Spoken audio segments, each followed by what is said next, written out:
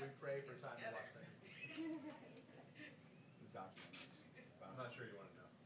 People with private zoos, We're gonna hold a briefing on that later, it's a whole different deal. we won't ask you about that, that was asked the other day. Yeah, I don't, it's, It's worth watching. How's your Find daughter? out. thank you. I haven't seen her, Yeah. but she's, Is she back to normal? yes. Once they get the rash, they just are great. It's the weirdest thing, but I don't have, I have no idea how she got herpes six and wrote it at home in quarantine, with no one coming in or out.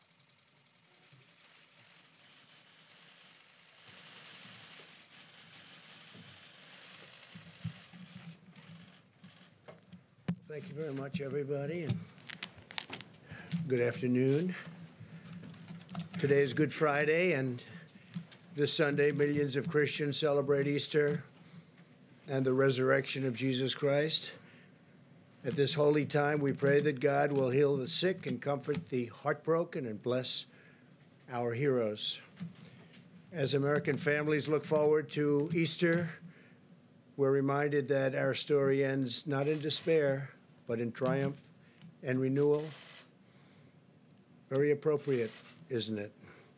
I'd like to provide Americans an update on our ongoing efforts in the war against the invisible enemy. Before I do that, I'll have a couple of notes. Uh, the United States, in discussions last night with Mexico, Saudi Arabia, Russia, and in dealing with OPEC nations, uh, we are trying to get Mexico, as the expression goes, over the barrel. And Mexico uh, is committing to do 100,000 fewer barrels. Uh, the president and I spoke last night. We have a great relationship, great friendship.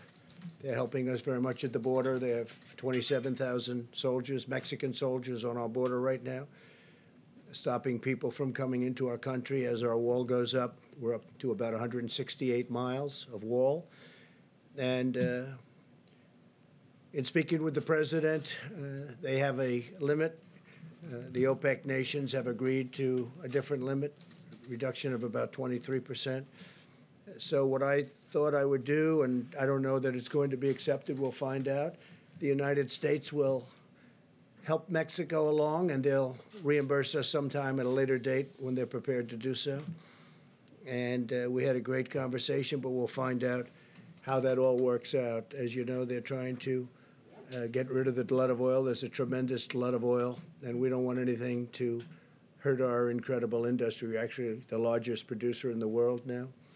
So we don't want anything to hurt those jobs, those great jobs in Texas and North Dakota and Oklahoma and everywhere. We have uh, a tremendous energy, New Mexico, tremendous energy business, and uh, we want to keep those jobs. So we're we're working on it. I think eventually it's going to work out. May work out quicker than what most people thought possible, and maybe it won't, but it'll work out eventually. Our experts are monitoring the data from every part of our country having to do with the topic that we're here to discuss. In the midst of grief and pain, we're seeing clear signs that our aggressive strategy is saving countless lives.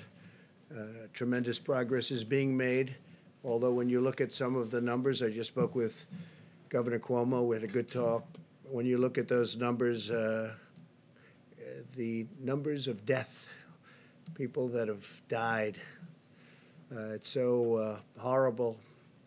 Now, on the other side, you have the numbers of beds being used, we were just saying, are substantially reduced. That's usually the sign that it's heading in the downward curve. Uh, so, New York, we know where that is. But in the midst of all this grief and this pain, we're seeing these signs, and we're seeing them very strongly. And a lot of that has to do with the aggressive strategy in saving so many lives. We're saving so many lives compared to what it could have been. So nobody knows what the number is, but we had a number of 100,000 lives. As many as that is, it's impossible to even think of it. And that was the low end with a tremendous amount of work and a tremendous amount of uh, uh, you can call it many different things. Uh, our people had to be extremely strong and brave to be able to put up with what they've put up with. But uh, the minimum, if you did this, uh, social distancing, and every other aspect, and I, I think I can say 90%, maybe even more than that, we're able to do it. Uh, the minimum number was 100,000 lives, and I think we'll be substantially under that number. Hard to believe that if you had 60,000, uh, you can never be happy, but that's a lot fewer than we were originally told and thinking. So they said between 100 and 220,000 lives on the minimum side, and then up to 2.2 million lives if we didn't do anything. But it showed a just tremendous resolve by the people of this country. So we'll see what it ends up being, but it looks like we're headed to a number substantially below the 100,000. That would be the low mark. And uh, I hope that bears out.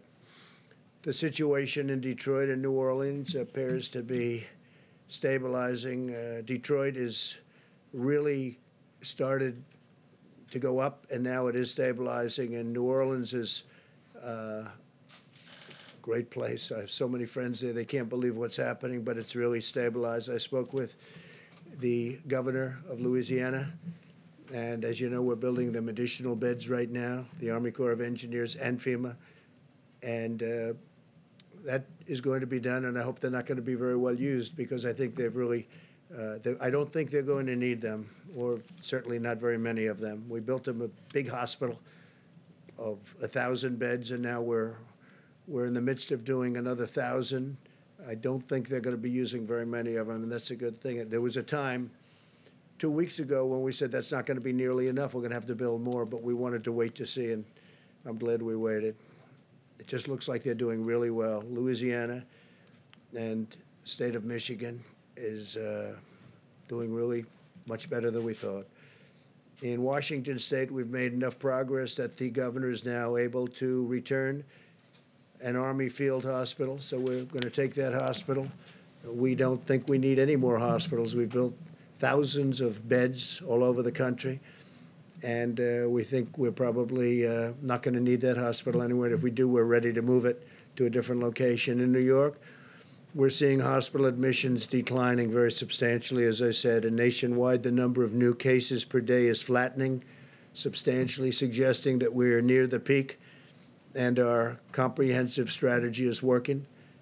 Over time, our guidelines to slow the spread are decreasing the rate of new cases very substantially and will result in fewer hospital admissions, and we're seeing that. It's uh, incredible. I think with uh, with no exceptions, uh, it's looking like it's lower. And again, that's because of the people doing what they had to do. Great people, and and working with elected representatives and and uh, the doctors, the nurses, and everybody. I mean, just everybody. So everybody so so has been so amazing. Um, I was told this morning again, please mention all of those people working in the grocery stores, and it's true. The checkouts and the clerks and the people that are really, and a number of those people have become infected. Uh, so we want to thank them and a shout out to them. With the tireless devotion of American doctors and nurses and all of the medical people, we've kept our fatality rate very, very low compared to other countries. My administration is closely monitoring the data on the virus's impact on our cherished African American communities because they've been hit hard. And the Surgeon General will be sharing more of that information uh, right after we're finished here.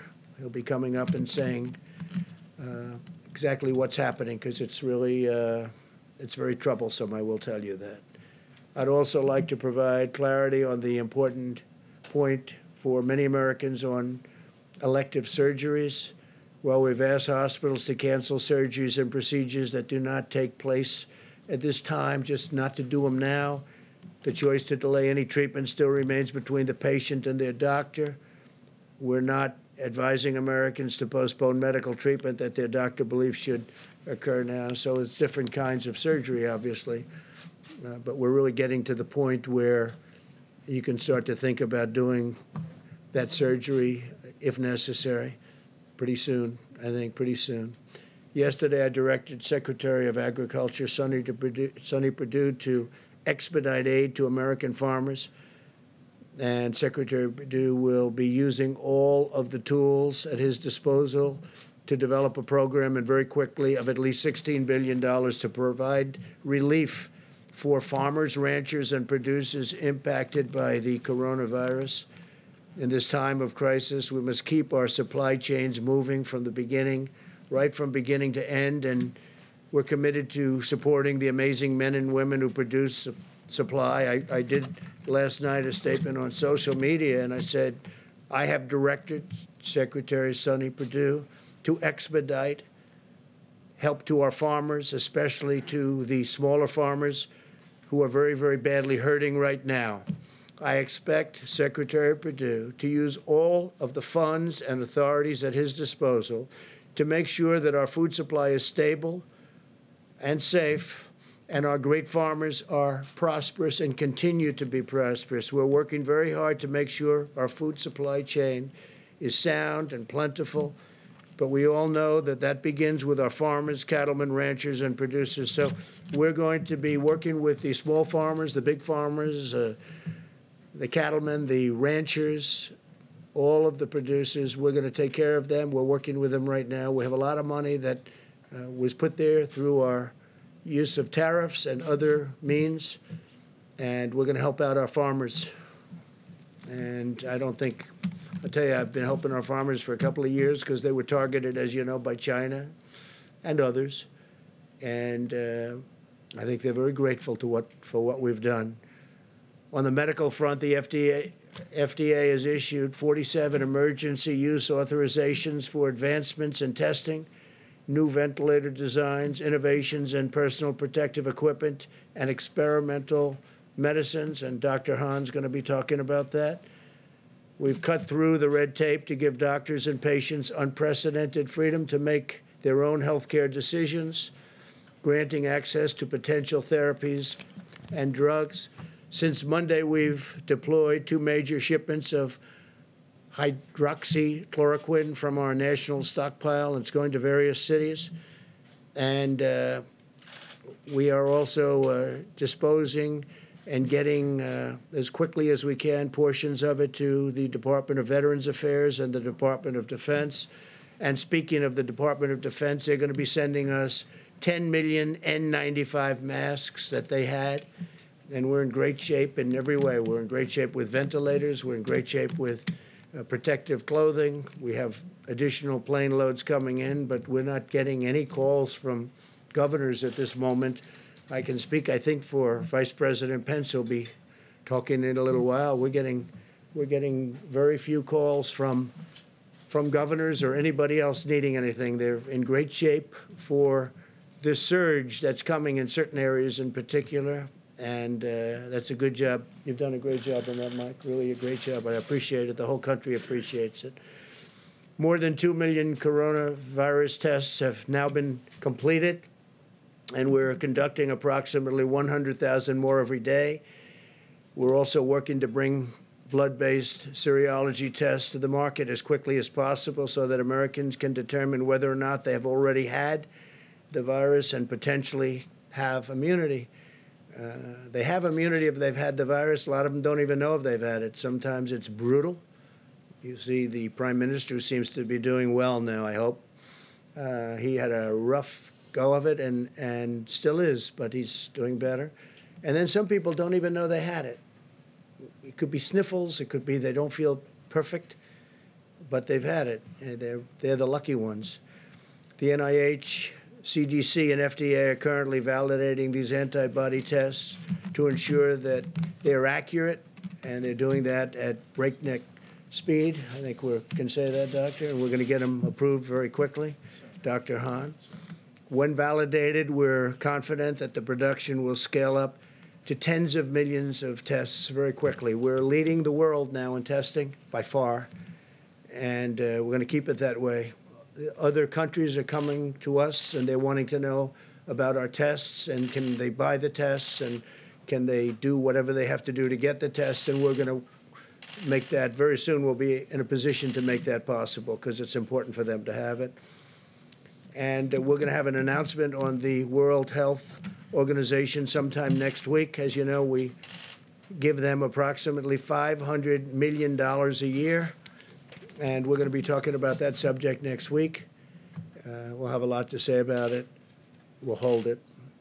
Every American should be proud of what our country has achieved in just a short period of time. The U.S. military has deployed thousands of personnel to build 23 temporary hospitals with more than 16,000 beds. And we have the potential to build many more if we needed them. We're all ready to go, but I don't think we're going to need them, which is great, great news. And uh, we built those hospitals in 12 states and the District of Columbia using the Defense Production Act, and we used it like a hammer. A lot of the media said, oh, we weren't using it. We used it like a hammer to a point where all we had to do is say the words, and everybody gave us max. And, and they've done a good job. They really have done a good job, with few exceptions. And we've harnessed the full power of American industry to produce ventilators and other essential supplies. Right now, we're making thousands of ventilators, uh, many of which we won't need, but we'll use them in our stockpile. And uh, we'll build that up. We'll also help build up the stockpiles, which they should have had in uh, the states. And so we're working with governors on that, and we'll also help other countries. There are countries that are calling us for help. They need ventilators, and they're in no position to build ventilators. We are. We have Ford and General Motors, and many, many companies are building uh, ventilators. So we're going to be helping at a uh, not too distant point. We're going to be helping quite a few of the countries. Now, we've launched Project Airbridge to deliver nearly 300 million pieces of personal protective equipment from and around the globe. We're also shipping out 60 ser- sterilization systems to 10 different cities that can each sterilize up to 80,000 masks each day, and I'm even hearing it can go up to 120,000 masks a day, certain equipment with certain additions. It's a company in Ohio that makes it. It's a great company, great.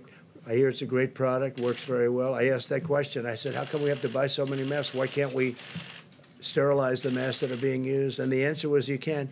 Uh, in this case, they say up to 20 times. So we can take a mask, certain types of masks, the N95s in particular, and we can uh, sterilize them, make them very clean up to 20 times. That's a great thing. In addition, we passed the largest emergency economic relief package in American history to save the U.S. economy and protect the American worker. As you know, uh, this past week, which was four active days on the stock market, Good Friday today is uh, not uh, is not included. The markets are closed. Uh, in four days, we had the biggest market increase, stock market increase that we've had in 50 years. That tells you that there's a pent up demand. That tells you they want to get back. There's something good going to happen. I really believe that. There's something very good going to happen. We have to get back.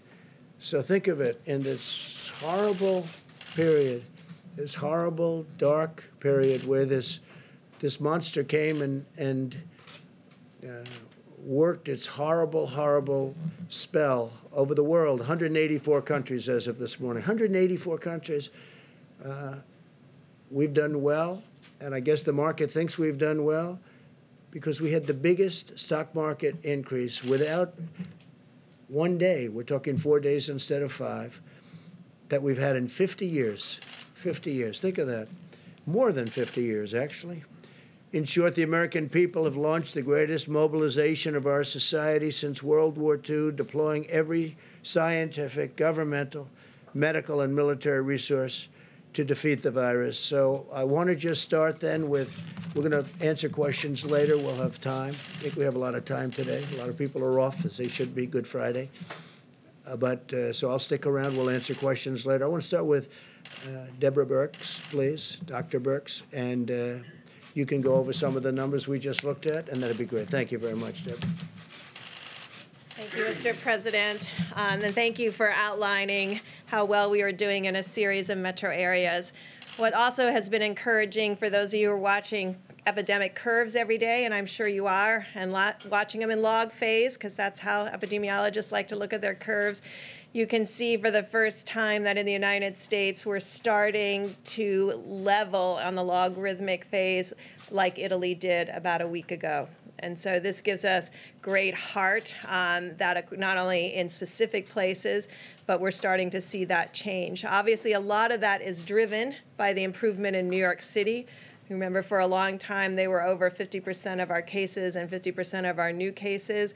That has dramatically changed because of the impact of what the citizens of New York and New Jersey um, and across Connecticut um, and now Rhode Island are doing to really change the course of this pandemic and really change the trajectory of, of new cases. We're seeing that what many states and metro areas were experienced as twofold and fourfold, fourfold increases that went to twofold, that now those are going to eight days between the doubling rate. Watching this every day gives us hope across these metro areas from New York and New Jersey and all through Denver and, of course, through New Orleans. We still see cases occurring in the Boston area and in Chicago, but their rate of increase seems to be stabilizing. And we really want to call out the work of the mayors of Baltimore and the district and Philadelphia, who have really brought all of their health health experts together and working with their communities are starting to really change the curves in those areas. What we're seeing is we're united in social distancing. And that's been very encouraging to all of us. And it should be encouraging to the healthcare providers that are on the front line, many of which are serving our Americans with such dignity and respect and ensuring that everybody gets optimal care. And as the president noted, our mortality in the United States is significantly less than many of the other countries when you correct them for our population.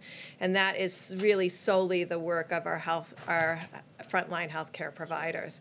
And so working with, you can really, hopefully you get the theme today that we are, are incredibly proud of our public health leaders at the city level, at the state level, at the federal level, who are working together to really change the course of this pandemic, working with their citizens and their communities to make these changes.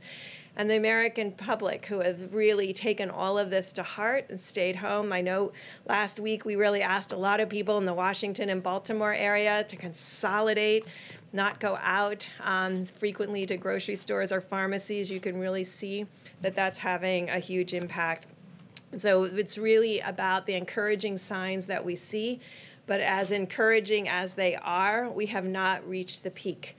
And so every day we need to continue to do what we did yesterday and the week before and the week before that, because that's what in the end is going to take us up across the peak and down the other side. We continue to really applaud the work of California and Washington State and Oregon. We're learning from all three of those states, from their public health officials, about how they were able to keep the virus from ever becoming logarithmic.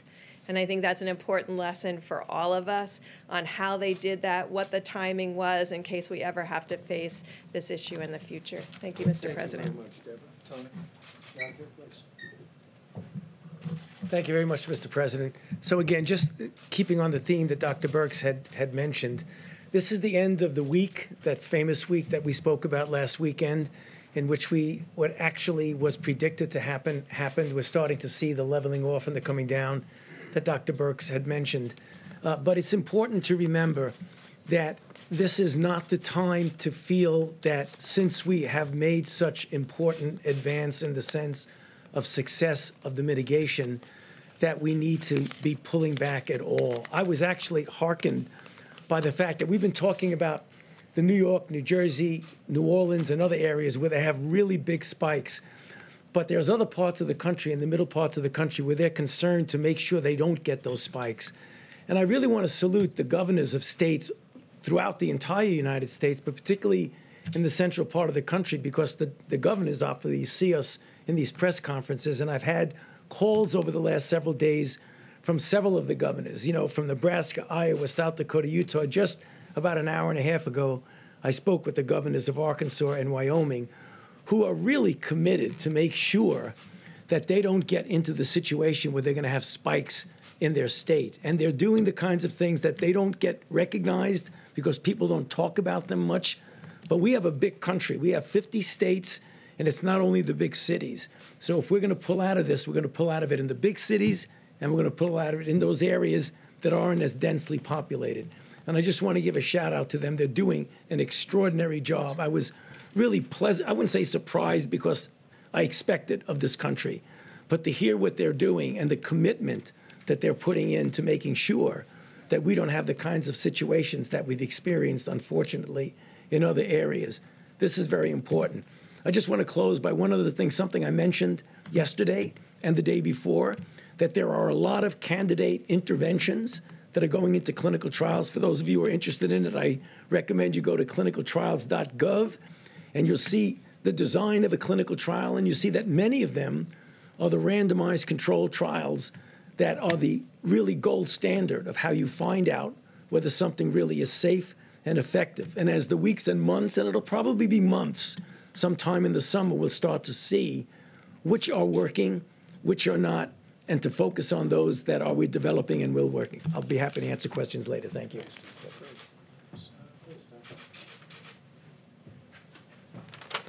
Thank you, Mr. President. Uh, The White House Task Force has been very focused on increasing the supply of personal protective equipment for our great providers. I was one of those providers a few months ago, and um, I can tell you nothing is more important than making sure they have what they need.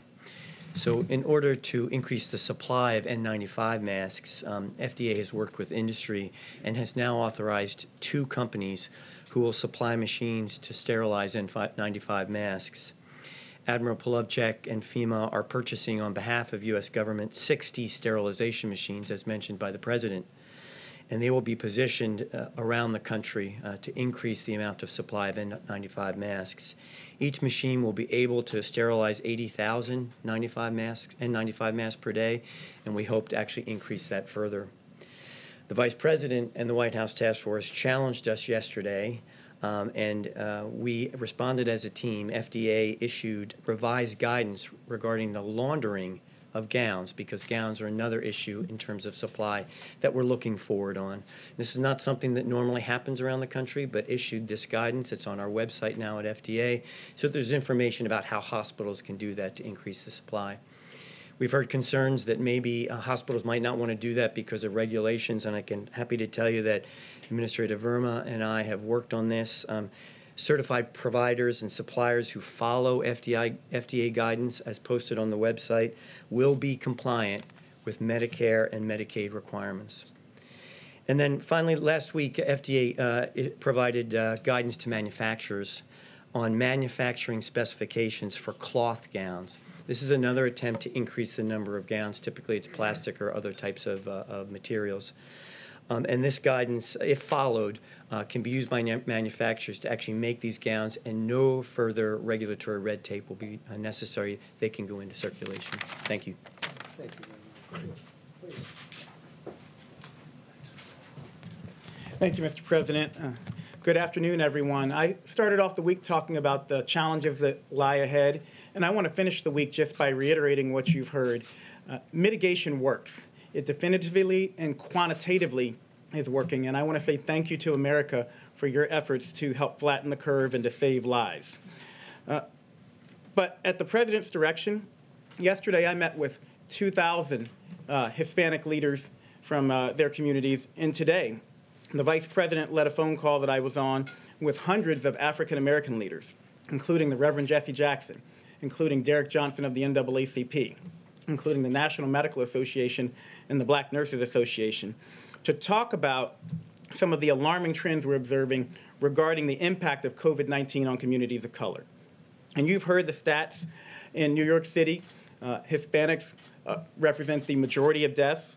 In Milwaukee County, blacks are 25% of the population, but almost 50% of the cases and 75% of the deaths. Uh, so, what's going on?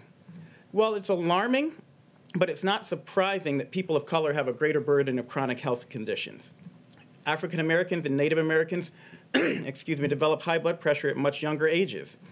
It's less likely to be under control and does greater harm to their organs. Puerto Ricans have higher rates of asthma, and black boys are three times as likely to die of asthma as their white counterparts.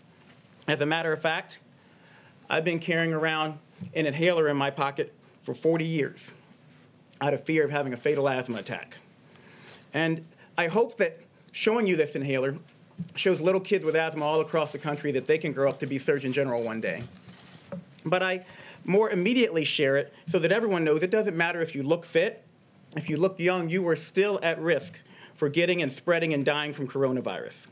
The chronic burden of medical ills is likely to make people of color, especially, less resilient to the ravages of COVID 19, and is possibly, in fact, likely, uh, that the burden of social ills is also contributing. Social distancing and teleworking, we know, are critical, and you've heard Dr. Birx and Dr. Fauci talk about how they prevent the spread of coronavirus. Yet only one in five African Americans and one in six Hispanics has a job that lets them work from home. People of color are more likely to live in densely packed areas and in multi-generational housing which, situations, which create higher risk for spread of a highly contagious disease like COVID-19. We tell people to wash their hands, but a study showed 30% of the homes on Navajo Nation don't have running water. So how are they going to do that? In summary, people of color experience uh, both more likely exposure to COVID 19 and increased complications from it. But let me be crystal clear. We do not think people of color are biologically or genetically predisposed to get COVID 19. There is nothing inherently wrong with you. But they are socially predisposed to coronavirus exposure, uh, exposure and to have a higher incidence of the very diseases that put you at risk for severe complications of coronavirus. But as the Vice President shared on the call this morning, this history, and I want you to hear me say this, it does not have to be our nation's future. We're taking steps now in the midst of the COVID 19 pandemic to reach, protect, and strengthen all communities impacted by this disease, and especially our communities of color.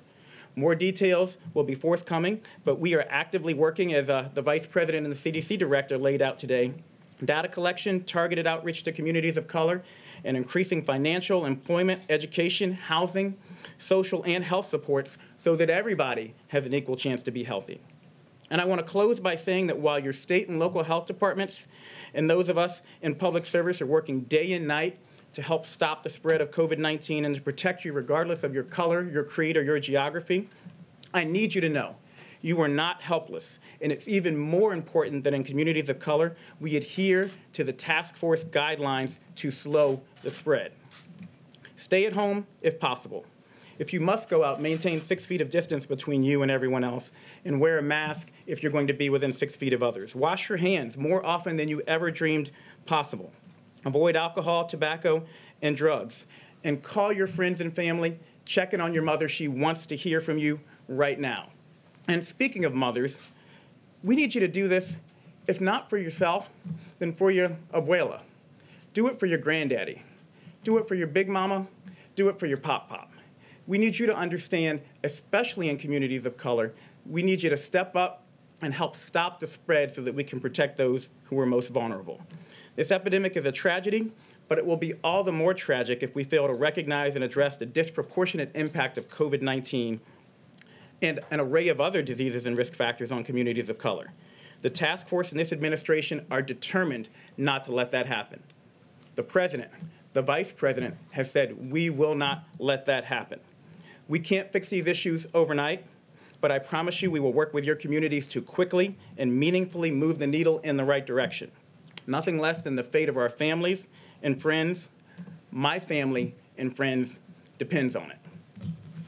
Thank you very much. Thank you. Mike, please. Thank you, Mr. President. Today, the White House Coronavirus Task Force met and, uh, and heard from the President um, the gratitude that he and I, and I know all the American people feel for all the dedicated workers at FEMA, HHS, U.S. Public Health Service, FDA, and all those that are literally working on your behalf around the clock to partner with states, to partner with local health officials. And, uh, and Mr. President, allow me to add my, my thanks and admiration to all of the entire team here at the federal level. On this Good Friday, we, we remember those who've lost their lives to the coronavirus. We remember their families, our dedicated healthcare workers, and our first responders. And we do well on this special day for Christians across this country to remember them in our prayers. But as you just heard from Dr. Birx and from the experts, it's also a good day to remember that Good Friday is always followed by Easter Sunday. And there is hope. There is hope in this moment that thanks to what the American people are doing every day, adhering to the president's coronavirus guidelines for America, thanks to the fact that Americans are listening to state and local leaders and putting the health of their family members and neighbors first, we're getting there, America. We're making progress.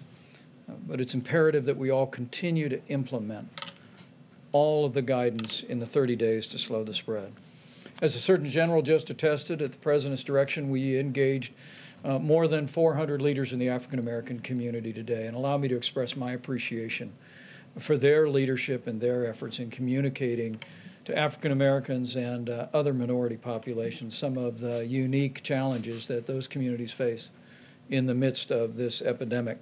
And the CDC, as the Surgeon General said, is working on not only studying the issue, but very rapidly issuing new guidance. And we'll be communicating that new guidance to all of those great leaders. On the subject of, uh, of testing and supplies, the President uh, gave a great amount of detail. More than 2.1 million tests uh, have been performed, and we continue to work very, very closely uh, with FDA and suppliers around the country to expand the ability of testing. And you just heard Dr. Hahn reflect on the fact that very soon uh, we will have an antibody test that Americans will be able to take to determine whether they ever had the coronavirus. Um, I spoke today uh, to the uh, governor of Colorado, Jared Polis. We've been in contact uh, with uh, Senator Cory Gardner about uh, an outbreak at a, uh, a particular meatpacking facility in the Colorado area.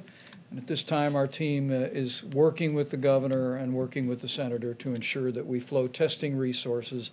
At this point, there are some 14 people hospitalized, maybe two to 300 of the workforce have been impacted, and uh, uh, we spoke about providing those resources this weekend. I want to encourage people in Colorado that we will we will work to support that effort, but I also want to emphasize that all of the people that are working in food supply, uh, from farmers to meat packers to distributors to truckers uh, to grocers, uh, continue to have our gratitude, as President Trump said just a few moments ago. On supplies, uh, more than five billion have been obligated to the states. 29,600 National Guard have been activated, and at the president's direction, more than 4,700 active duty military personnel have been deployed. Medical military personnel in nine states, focusing on the areas of most significant epidemic. Airbridge, uh, uh, 26 flights have been completed. Uh, four flights are scheduled to arrive today, bringing a quarter of a million gowns, 25 million pairs of gloves, 54 more flights are scheduled, literally bringing in supplies uh, from around the world. Uh, finally, let me say as we go into this uh, very special weekend, into Easter services, I know I speak on behalf of, of the President when I say how grateful we are uh, to all of the churches that have been there and their ministries have been working under great difficulty to continue to provide for the needs of your members.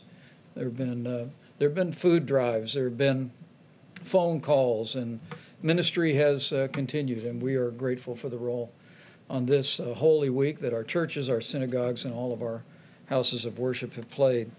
Uh, on their behalf, allow me to remind you that um, even if you're not in the pew this Easter Sunday, if you are able, it's still a good idea to give because those ministries continue to go forward, and we encourage you. Uh, we encourage you to continue to support them.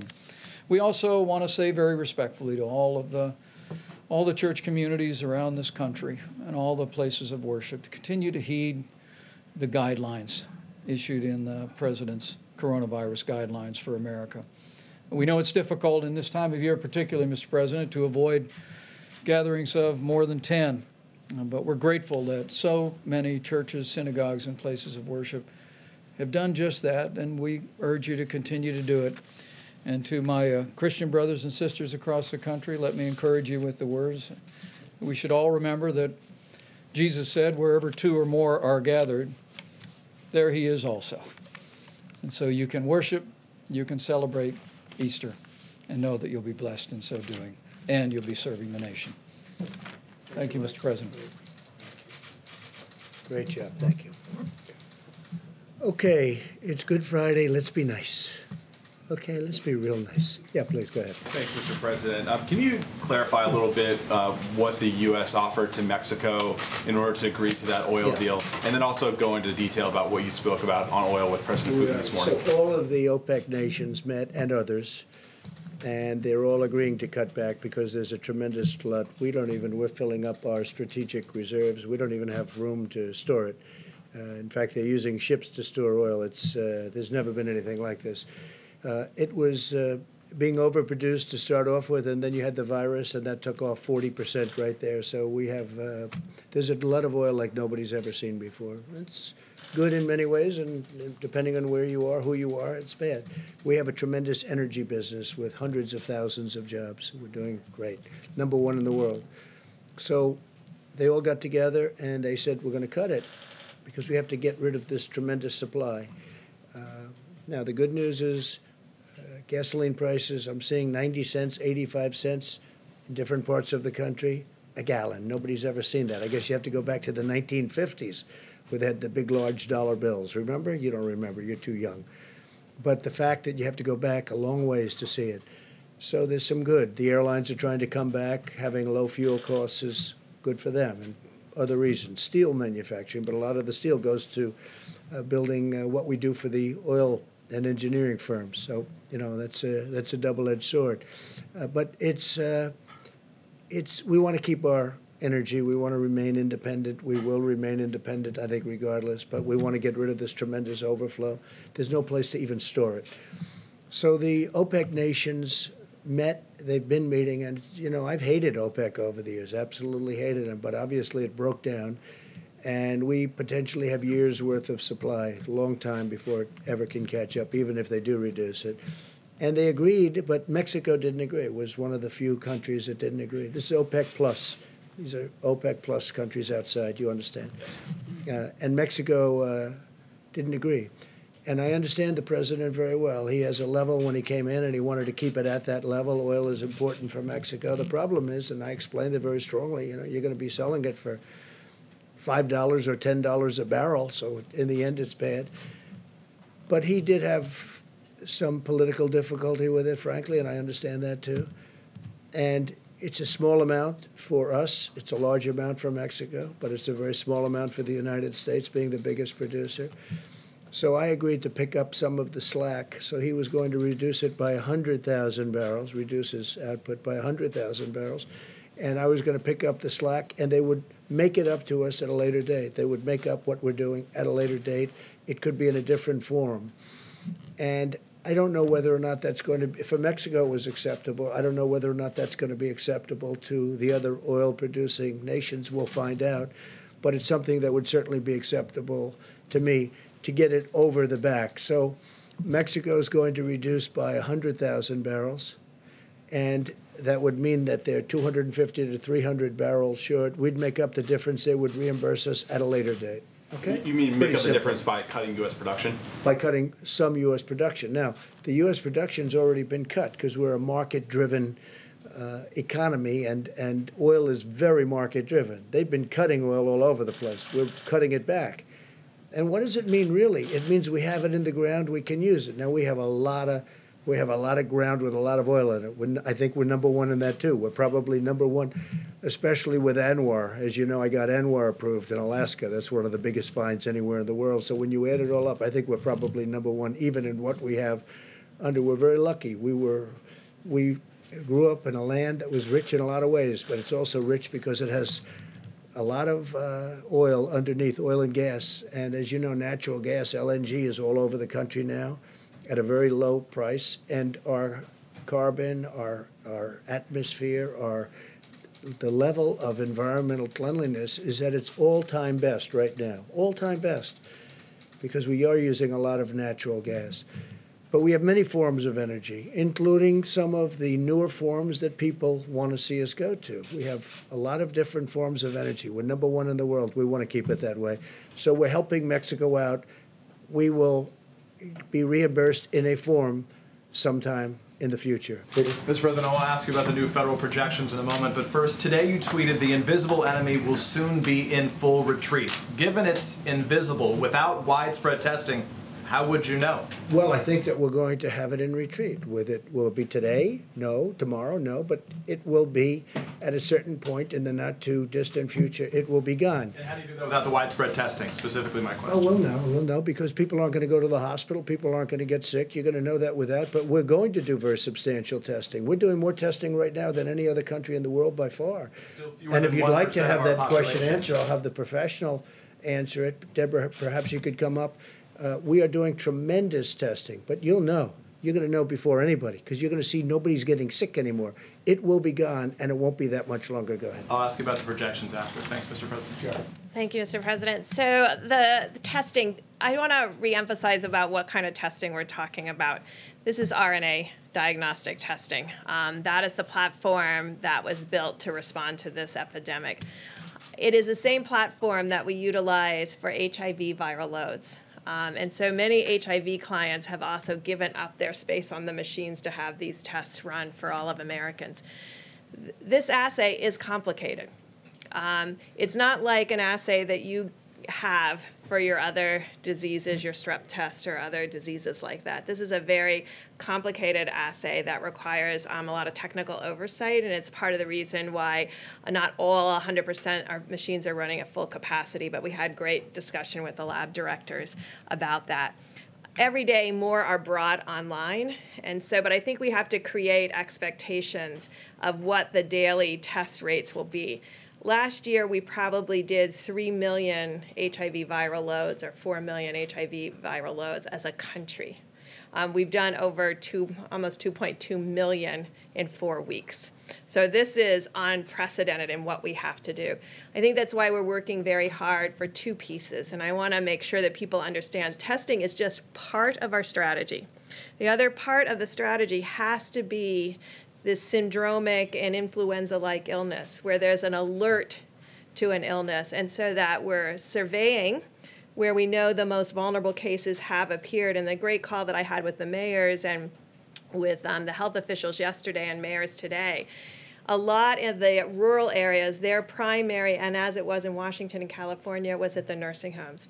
So the, the issue is to build a testing strategy that speaks to our strengths, of laser focusing a strategic approach to testing when we know what our volumes are and they increase every day, but we have to be realistic about what the volumes will be a week, two weeks, three weeks from now, and combine that with strategic surveillance so that we're testing symptomatic people and their contacts very quickly to go back to contact tracing, utilizing our complete strategy. And I think we're very much interested, and it's why the president three weeks ago really put us on getting an antibody test. And I think I called from the podium for our university colleagues and, uni- and hospitals to begin an ELISA based test because that's a blood draw. But we really wanted a finger prick to make it easy and deployable. Um, that's what's being worked on now. Of course, we don't want to promise until we have it. Um, because I think we deserve that. The American people deserve that to have a test that is efficient to let people know who's been positive for immunity.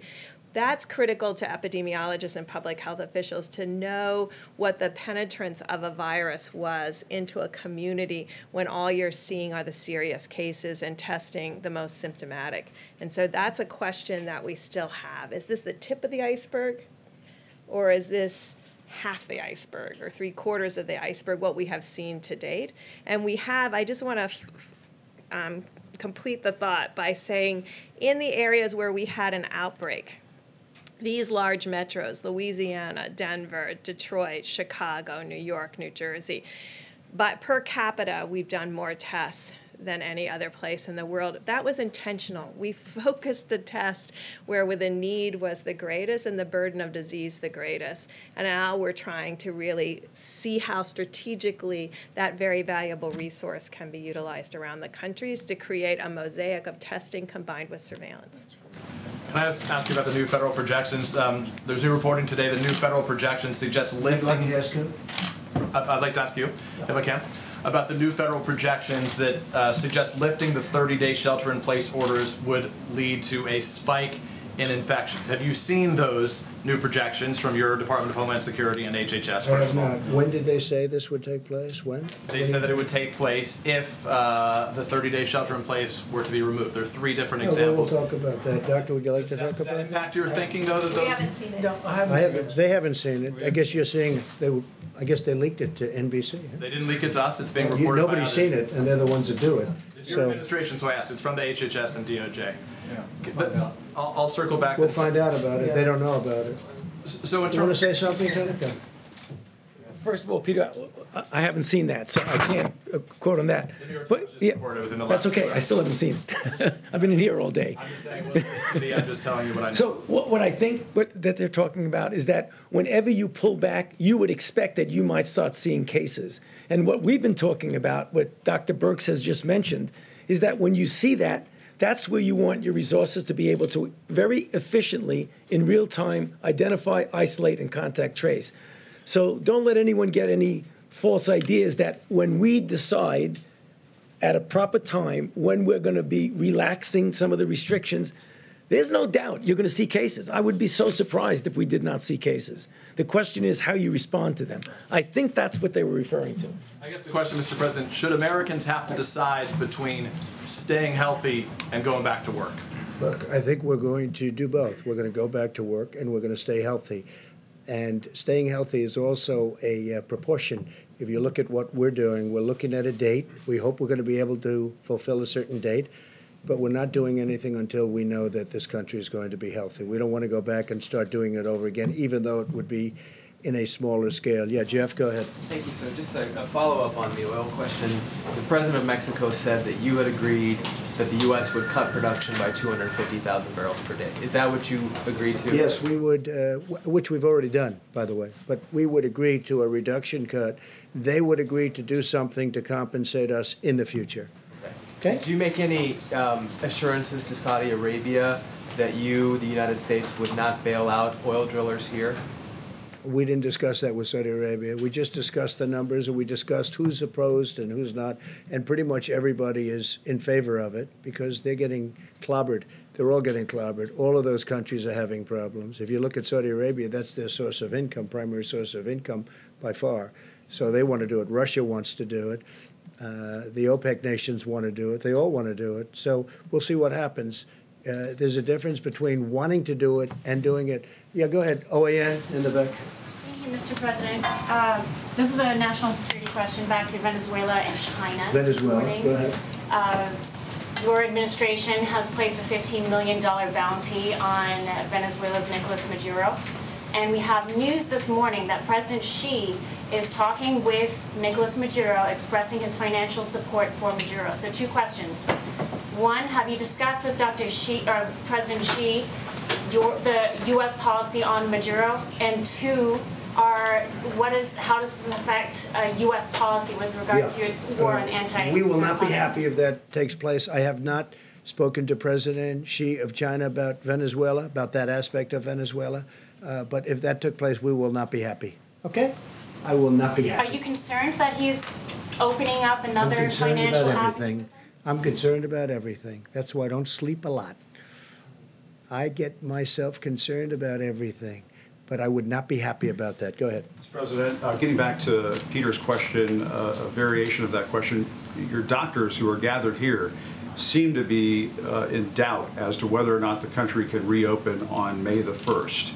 If they come to you before May the 1st and say the country is not ready, or huge parts of the country are not ready to reopen on May the 1st, will you listen to them? I listen to them about everything. I think they're actually surprised. I have great respect for these people, all of them. You that look, and, and others particular, that are working with us. I have great respect for this group. In fact, I told Tony Fauci, I said, why don't you move to New York, run against AOC? You will win easily. Some But he decided that he's not going to do that. Okay. Of your I kid, by the way. They, you know that. Some, some of your allies have been bashing these doctors. Uh, Would you tell them to cut it out? I can only say this I have tremendous respect for these people, and we've done very well. And when you look at us compared to others, we're a big nation. When you look at us compared to others, when you see how we've taken testing from a broken system that I inherited to having the best tests that anyone's made anywhere in the world, and other countries are calling us, wanting to use our technology. Uh, I have great respect for these people. to you, I'm sir- never saying bad about these people. If they come back to you, sir, and say, before May the 1st, we can't open on May the 1st, do you listen? I will certainly listen. I will certainly listen. You take that there are two sides. Remember, there's. I know. I understand the other side of the argument very well, because I look at both sides of an argument. Uh, I will listen to them very carefully, though. Please go ahead. Thank you, Mr. President. You may have seen this, but JP Morgan came out with a forecast about GDP growth in the second quarter. They're saying a 40% decline uh, in the second quarter of this year. Do your economic advisors share that view? I, I before think you- my economic advisors are interested in the third quarter and really the fourth quarter. And I think we have a chance to do record fourth quarter numbers because there's a tremendous pent up demand. And you see it this week. I mean, what reason would there be other than faith in us and in this country, faith in this group and me and our vice president and everybody, governors perhaps, you can add them into it also. What reason would there be for, in a shortened week, four days instead of five, to have the biggest stock market gain in over 50 years? So I think that, you know, to me, there's a sign. Hey, look, with all we've been down, I mean, we've we've never been hit. I don't know. Has this country ever been hit like this? Probably not. 1917, but that was different, and it was a different time. And frankly, Europe took the brunt of it. We didn't, but it was a terrible time also. But probably never been hit like this, right? Somebody was saying. In fact, I was speaking with Governor Cuomo about it because we were in New York City, a place we love, New York State, with the World Trade Center, and that was approximately 3,000 people. Well, we've doubled that in this same area, we've doubled that, more than double it, substantially more, and it's obviously going. You know, we had our highest number yesterday and the day before. Okay, with all of this news, what would lead you to believe that we're going to have the best stock market week, shortened week, in 50 years? Almost broke the all-time record. You know what that is? That's a pent-up demand. Now, that's my opinion. The other thing is we're doing tremendous stimulus plans, and despite what you're reading, you know, there's back and forth, but we are getting along with the Democrats. They want to see something happen. We have to help our workers. We have to help our small businesses. We have to help. We have to help our restaurants. I think deductibility will be great for entertainment, restaurants, all of that. Look, I think with the stimulus, with the people, with what we've got going, with all of the things, we're going to be meeting with the airlines over the weekend. We're, we have a great plan for the airlines. We've got to keep the airlines going. You know, it's never been a great business, but it's a very vital business for the country. Uh, we're going to be meeting with Boeing. We're going to be meeting with a lot of companies that are great companies and were great companies a short while ago. I mean, we can't let anything happen to Boeing. It's, you know, got so much potential. You talk about potential. Can anything have more potential than that? So we have a lot of very exciting things taking place. We have tremendous plans, we have tremendous stimulus, and I think we have a chance to do really well. So this quarter isn't the quarter I'm looking at. Third quarter, we start to think about it, and I think fourth quarter is going to be at a level that maybe we haven't seen before. I think our country, with the stimulus, with all that we've been through, we've learned a lot. Don't forget, we've learned about pandemics and epidemics. Uh, we've learned a tremendous amount. And with all that we've learned, as an example, we're making ventilators. We have thousands of them being delivered in the very near future. We have countries calling us, can we have ventilators? That would have been an unthinkable call. I'd be, I, I wouldn't know what to say. They have people dying, but we needed them for ourselves. We have plenty before the surge. In New York, they need far fewer hospital rooms or far fewer hospital beds in particular than we thought. And I have to say, Dr. Birx told me that four weeks ago, six weeks ago. Remember, you said that number's too high. We don't need that many. And based on what she said and others, we did what we had to do. We actually gave the maximum. We built Javits. We sent the ship in. We then made the ship COVID because you know there weren't a lot of people on the roads. You didn't have the accidents that we thought other unrelated accidents. Nobody driving. You know, normally you have a lot of car accidents. You have a lot of motorcycle accidents. You have people going to the hospital. We didn't have that. We had almost none of it.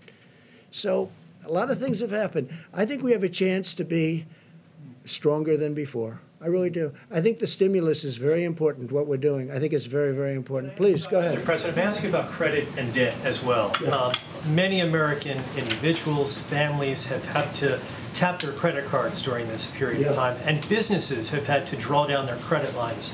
Are you concerned, Mr. President, that that may hobble the U.S. economy? All of that debt, number one. And number two, would you suggest to credit card companies to reduce their fees during this time?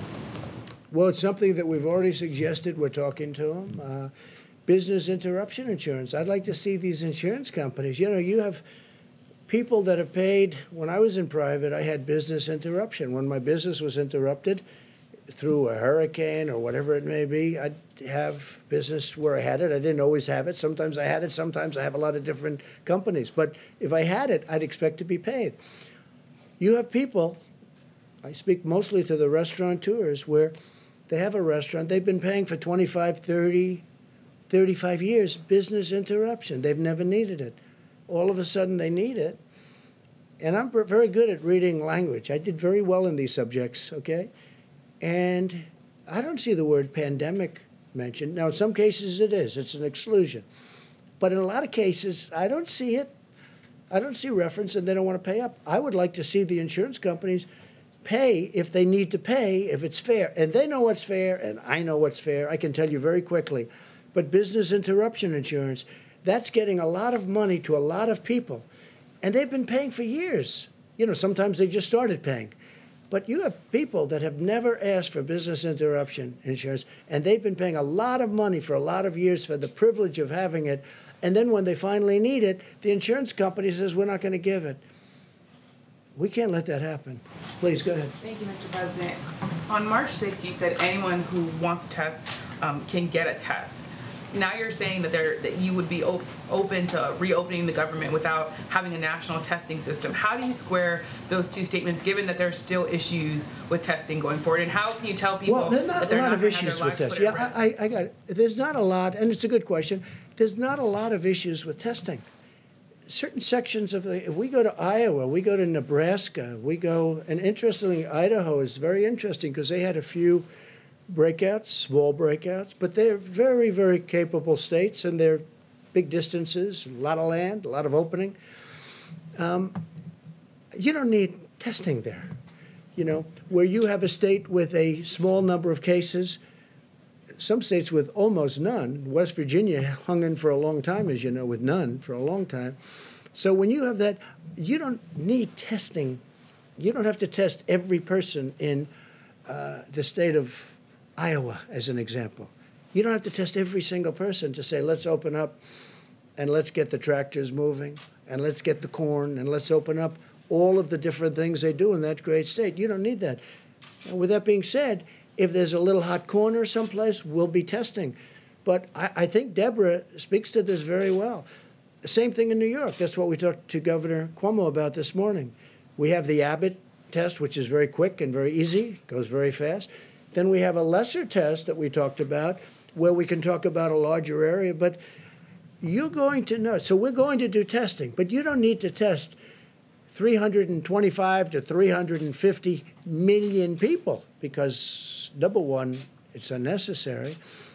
Vast numbers, vast areas of our country don't need this. I think you agree with me on that. You just don't need it. Now, we have certain hotspots. So Louisiana's a hotspot, New York's a hotspot, Detroit's a hotspot. Uh, and then you have certain areas in certain hotspots that you have to even go more so. And we're doing all of that. Remember this we've done more testing than any country in the world. And we have the best test. And we developed this over a very short period of time. Please. Can I ask ahead. you also about Af- the African American disparity? Yes, I have sure. a question for you and a question for the Surgeon General. Sure. For, for you, Mr. President, we know that these health disparities have existed for a long time among African Americans, Latinos, and other people of color. Why did the administration possibly have a plan directed at those communities to prevent high death rates, knowing that the health disparities were there? Well, we do have a plan, and one of the things I'm most proud about is what I've been able to do for the African American community. Uh, the lowest job numbers in the history of our country. This was For the, the virus, me, yeah, just before the virus came. Well, I'm just saying because you know this has been here for three weeks, right? So just before, African American community had the lowest unemployment, the best employment numbers. More African American people and communities have been thriving. If you look at our opportunity zones and what we did, Tim Scott, who's fantastic, a fantastic senator, came to me, opportunity zones, more jobs for African Americans than ever before, better health care than they've ever had before. All of these things.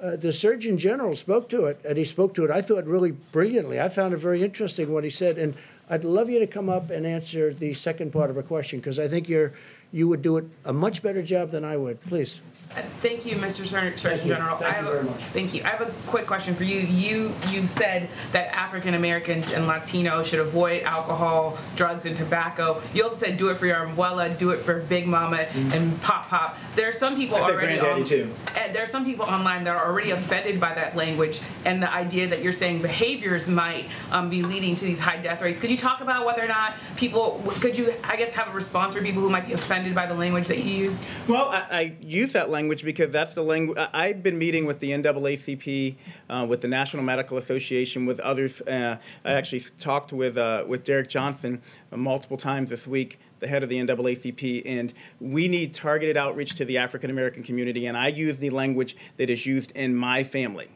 I have a Puerto Rican brother-in-law.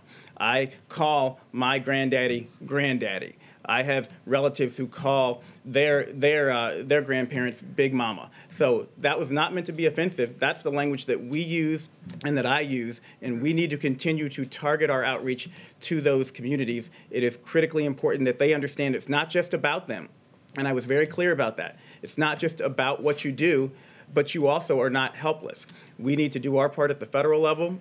We need people to do their parts at the state level, and we need everyone black, brown, white, whatever color you are, to follow the president's guidelines, the coronavirus guidelines, and do their part. Because when I talked to the NAACP, three weeks ago. It's important to note that one of the things they asked me was, "Can you help dispel the myths in this community that uh, that people actually can't get coronavirus if they're black?"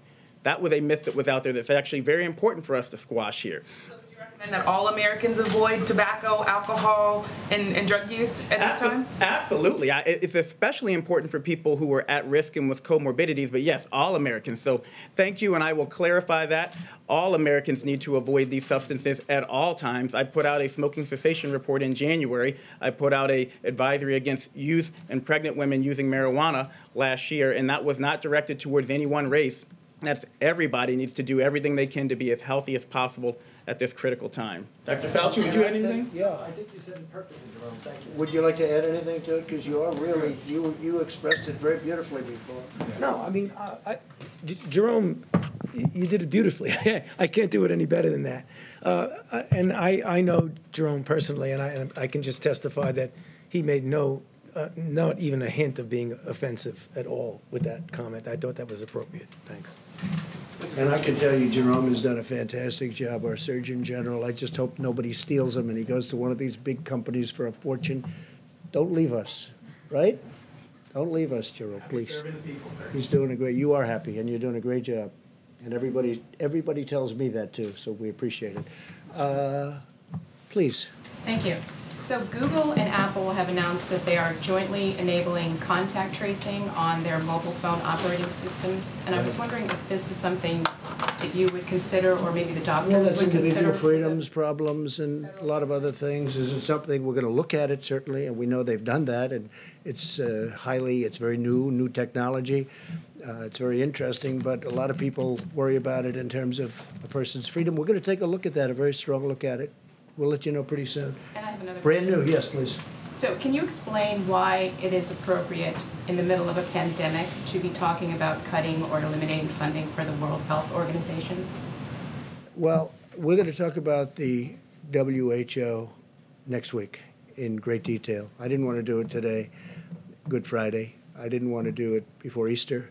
I also didn't want to do it before we have all the facts. But over the years, many years, we've been paying them from 300 to 500 and even more million dollars a year. China's been paying them less than 40 over the years. So we're paying them more than 10 times more than China and they are very, very China centric, as I said during the week. China centric. Uh, China always seems to get the better of the the argument. And I don't like that. I really don't like that. I don't think that's appropriate. I don't think it's fair to the American people. And, you know, I tell that to President Xi. I, I tell that to uh, Dr. Tedros. I spoke to him one time. I, I think he's a very nice man. I liked him. Uh, but we're going to be talking about that uh, next week in great detail. We're looking at it very, very closely. Uh, we want to make sure money is properly spent. But again, why is the United States paying $500 million a year? It's a lot. And why is, okay, that's a lot. And why is China paying last year, this year, $42 million, but generally under 40, so it's in the 30s.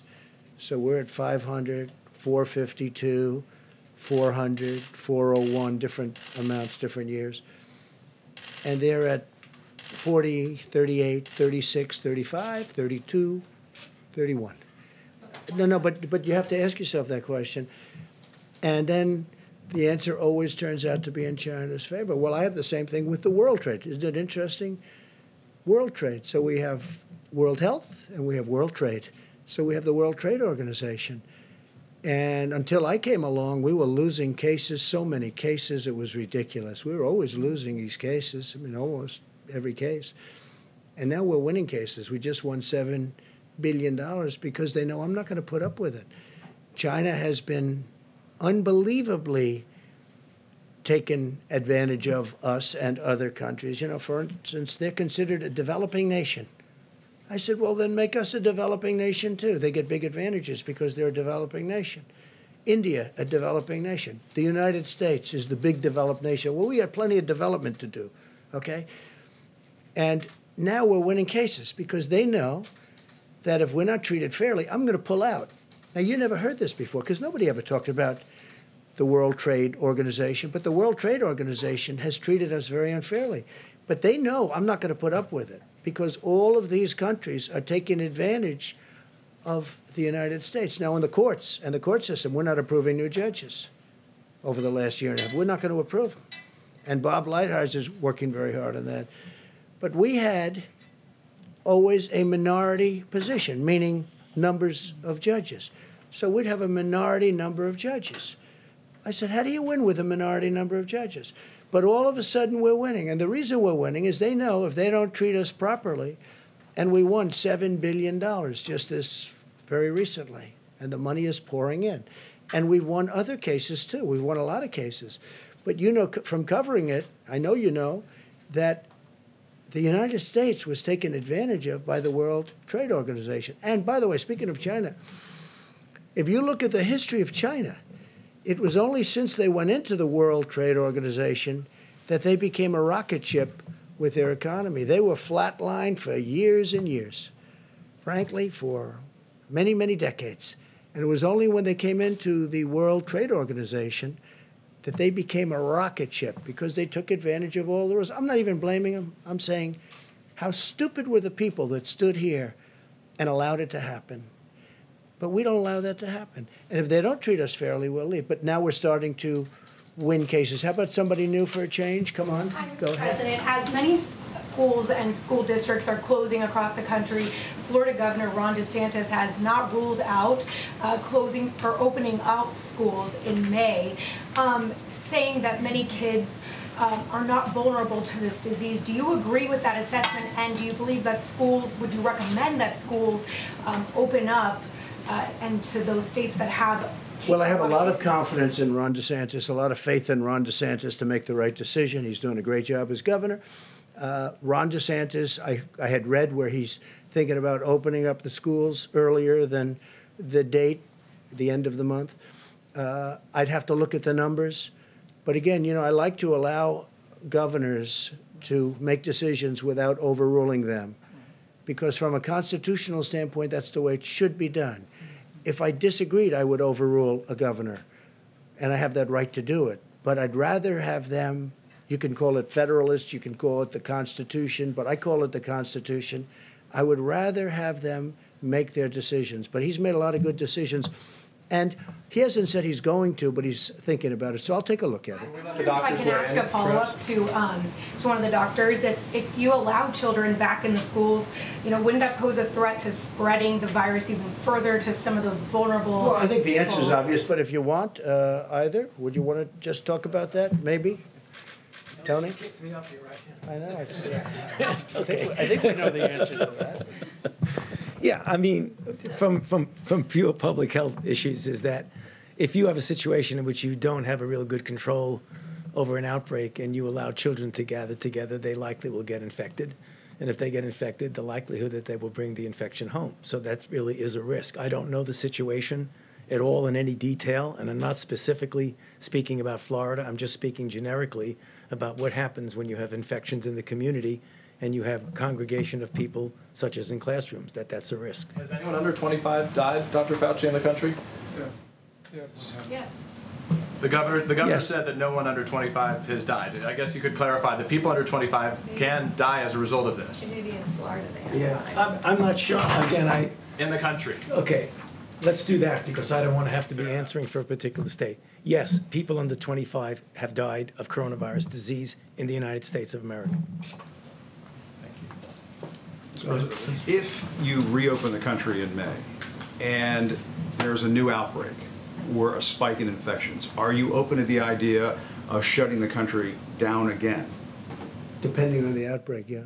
You would be open Depending, I mean, and that's happened, as you know, with a couple of countries.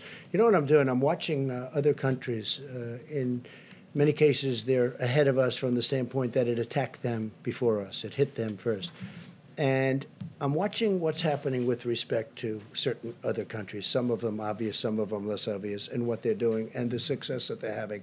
And that's going to play a large uh, part of the role. I'm also, we're also setting up a, uh, a council of very, very uh, great doctors and business people. We're going to be announcing it on Tuesday. Uh, of some great people. The, Economic task force. There's a second task force? Beyond, this is beyond economic. This is really, I, I call it the Opening Our Country Task Force or Opening Our Country Council, so we don't get it confused with Mike's task force, which has done so great. Uh, and we're going to have the great business leaders, great doctors. We're going to have a great group of people. We'll probably do it by teleconference because we don't really want them traveling in for their own purposes. I don't think it would look good also, but we don't want them traveling in. So we'll do teleconference. We did one the other day with the banks, and it was very successful, the teleconference itself. And uh, we'll be announcing names on Tuesday who's on that. And that'll play a role, but ultimately I have to make that decision. And then I'll have to make a decision. Do we close a little area that's a hot spot? I, I do say this, Jim, I want to get it open as soon as possible.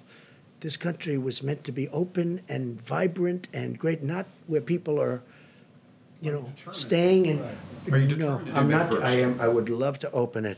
I'm not determined anything. The facts are going to determine what I do. But we do want to get the country open, so important. So I'll have a uh, task force, I'll have a council. It's going to be announced on uh, Tuesday with uh, names that you have a lot of respect for, a lot of great names, different businesses, different people. uh, Top, uh, bipartisan. I, I didn't even ask. I mean, honestly, I think it's bipartisan. The one thing I didn't ask, are you Republican or a Democrat? Hard to believe, but I didn't ask.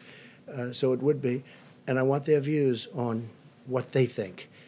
Also, very important, different parts of the country. Because you go to the Midwest, it's different than perhaps the East Coast or the West Coast. Now, the West Coast, those numbers are really pretty amazing on the West Coast. Very interesting. So we're going to be announcing that in a very short while, probably Tuesday. Go ahead, please. Thank you, Mr. President. Uh, Government officials in Latin American and Caribbean nations, uh, Bahamas, Cayman Islands, have been saying that U.S. authorities are blocking the shipment of PPE in certain cases, and I'm wondering if you could speak to that as Well, what what is they're the doing, we have a tremendous force out there, naval force, and we're blocking the shipment of drugs.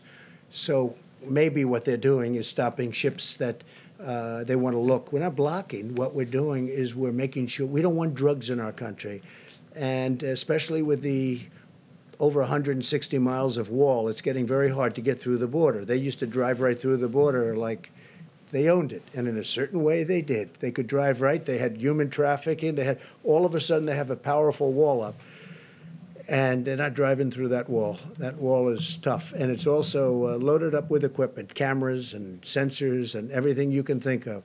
Uh, on top of that, we have drones flying back and forth over it. So, so it's in very a very powerful. It's a very powerful barrier between Mexico and the United States. Uh, a lot of people, though, what they're doing now is they're trying to come in through the waterways, whether it's the Gulf or the ocean itself. And what we're doing is we're being very tough, and we're being tough because of drugs and also human trafficking. And remember, the human trafficking is mostly females. It's mostly females. It's horrible, and what we're seeing is horrible. But you have a big, a, we have a human trafficking, human trafficking problem worldwide, the likes of which you know you think of it as an ancient thing. It's not ancient. It's bigger now than it's ever been before over the last 10 years because of the internet. The internet made human trafficking to the extent that it is now, which is massive. The internet, the internet made it so big. So uh, we are we have a, a, big naval force that's stopping. So maybe uh, when you mention that, maybe their ships are getting caught. But we are we are stopping a lot of ships, and we're finding a lot of drugs. Uh, yeah, please. Thank you, sir. On the additional money for Well, small. I meant you, but that's okay. Go ahead. We'll do I'm this. sorry. Go ahead. Uh, On the additional money for small business, uh, apparently speak, uh, Treasury Secretary Mnuchin speaking with, with the Democrats in Congress. Yeah. Are you allowing? Are you talking to- about the new? Uh, yeah, the new two hundred fifty billion dollars. Yeah, 250. Are you willing to give into the Democratic demands for you know, additional money for hospitals, states, and cities in that interim round of? I'd rather have that be in phase four. I don't deny it. I, I think it's fun, but I think it should be in phase four, and I think we should have infrastructure, and I think we should have a payroll tax uh, moratorium, because that's something that over a period of time the workers get, you know, sort of semi-immediately. It's over that period of time. It starts immediately, but it's over a period of time. I mean, there are a lot of people, I'm one of them, that would have liked to have seen the payroll tax cut as a permanent cut. But we should do the double edged, meaning business, uh, employee payroll tax cut. So we're talking about that. And I'm certainly okay with helping the states and helping the hospitals. I just think, because look, the hospitals need help. You see what they've gone through. And the states need help. Some states in particular need help. They need big help. Uh, I'm willing to look at that very strongly, but I like looking at it in phase four. The 251 is actually, uh, the plan is working out well. The banks are getting started with the distribution. They've taken thousands and thousands of applications. The numbers aren't even believable, the number of applications. They're swamped, but Bank of America and uh, Wells Fargo, and I guess Citi, Citibank is just now kicking in. And also, what nobody's talking about the commercial banks, the, the um, community banks. Everyone's talking commercial banks. The community banks are doing tremendous volumes. And they're probably doing them faster, from what I understand. I hear the community banks, frankly, are the easiest ones in terms of getting the money out. So the money is getting out. The applications are far beyond what we ever anticipated, and that's why we're that's why we're going because this is money that goes essentially to the workers. We want the businesses to hold on to their workers because once they lose the workers, they're never opening again. It's not going to happen. Okay, in the back. Mr. Uh, Gordon Newell from the Wall Street Journal. I wonder if you could expand a little bit on your, uh, like the form that Mexico would take, the reimbursements, like what form would that take? You essentially add it to the tab for the wall that you mentioned. Um, and I have a second question by Matt. Well, there's no real cost because we're agreeing to produce a little bit less. So, number one, it's staying in the ground. You have it. You have it for another day. It's actually cheaper than storing it, where you take it out and you deliver it to a massive well, like the strategic reserves, our national strategic reserves, where it has to be brought there, and that's you know an expensive process in itself. But oil is getting to a point where I mean, there are some areas, some people would say the water is more valuable than the oil. You never thought you were going to see that. You never thought, having covered, I know you cover it, you never thought you'd be seeing oil at $20 a barrel, but how about $10 a barrel? That you never thought you'd see. So uh, we are looking at it very strongly. There is no real cost. I was helping Mex. I want to help Mexico out. We have a great relationship with Mexico, great relationship with the president. I really like him a lot. He's been terrific to us on the border because he stopped. He stopped. You don't see the caravans coming up anymore. You don't see all the problems. When I took office, it was unbelievable what was going on. And they are really, they have been helping us a lot. And we've been helping them a lot. You know, they make product for us, they sell it to us. And, It's fine. It's a good relationship. It's and sometimes it's a, a great relationship. So he could not have done any more than that. And I think there was political reasons for that for him that other other nations don't have. They don't have that. You know, the nations that we're talking about, the 22 other nations that we're talking about, they just don't have that problem. So it doesn't cost us anything, and yet it's very valuable. We will be reimbursed in the future, maybe in the near future, maybe in the more distant future, but we'll be reimbursed by Mexico in a certain way, and it'll be fine. But we get Mexico over the hump. Now, with all of that being said, that doesn't mean the deal's going to happen anyway, because they still have a lot of different states. But this was one of the stumbling blocks. Okay, go ahead. If I may, uh, China and some other countries have been particularly active, uh, uh, seen as maybe taking advantage of the U.S. during this process, uh, during this period. Uh, China particularly active in the South China Sea. Got a carrier down, obviously. What's your message to some of these adversaries and competitors? Well, uh, look, the way I view it is this um, China has taken advantage of the United States for 30 years. Okay? I mentioned the World Trade Organization. China has taken advantage of us through that and using rules that are unfair to the United States, and they should have never been allowed, this should have never been allowed to happen. When China joined and was allowed to join under those circumstances, the World Trade Organization, that was a very bad day for the United States because they had rules and regulations that were far different and far easier than our rules and regulations. Plus, they took advantage of them down to the last, and you know China and you study China, and you know what I mean. They took advantage of them like very few people would even think to take advantage of them. And again, they are considered, right, a developing nation. We are not considered a developing nation. They're given advantages. Okay. For many years, China has ripped off the United States. And then I came along. And right now, as you know, China's paying 25%, and we've taken in billions and billions and billions of dollars in tariffs from China. And I know a lot of the people kept saying, oh, no, we're paying. Well, we're not paying. You know, countries are different. Not every country is China. But China would devalue their currency, and they'd also pour out money. And they essentially were paying most of those tariffs, not us. And as you know, we've taken in tens of billions of dollars. They targeted our farmers. But we took in so much money that I was able to give back. One year it was 12 billion, one year it was 16 billion. I was able to give back our farmers the money that they were targeted, hurt. China bought 12 billion and bought 16 billion. One year 12, one year 16. I was able to give them back to 12 and then give them back to 16, the farmers. And they weren't targeted, and they're all in business. Now we're doing it because they got targeted in a different way. Now I'm going to be very interested to see. So we signed a deal with China, and under that deal, they're supposed to buy substantially in excess of $200 billion from us. That's not only farm product, it's manufacturing product, it's lots of different things. They're going to buy a lot. I just want to see if they live up to that deal. I know President Xi, I would say he would live up to the deal. But remember this I never took off the tariff. It's still 25%. That's a big 25% of $250 billion. So for the first time, and you saw also, now again, I'm going before the virus hit, because that's sort of like, that's like, let's start all over again. Okay? I can't tell you that yet, because that chapter hasn't been written yet. But go up a few weeks ago, the deficit with the United States and China was coming way down. Nobody's seen that. Nobody's ever seen that before. But the deficit has come way down. So now we start a new chapter. And I can only tell you if a smart person is standing where I'm standing, we're going to do very well with China. Okay? And I think it's, I have to also say this. Uh, I think our relationship and having the relationship I have with China is a good thing. But for the first time, we're benefiting instead of being the sucker that could, you know, that got taken advantage for years. Nobody. You know, I said to China, how did this ever happen? I got to know him very well. I said to him, representatives of China at the top level, you know who I'm talking about. I say, how did this ever happen?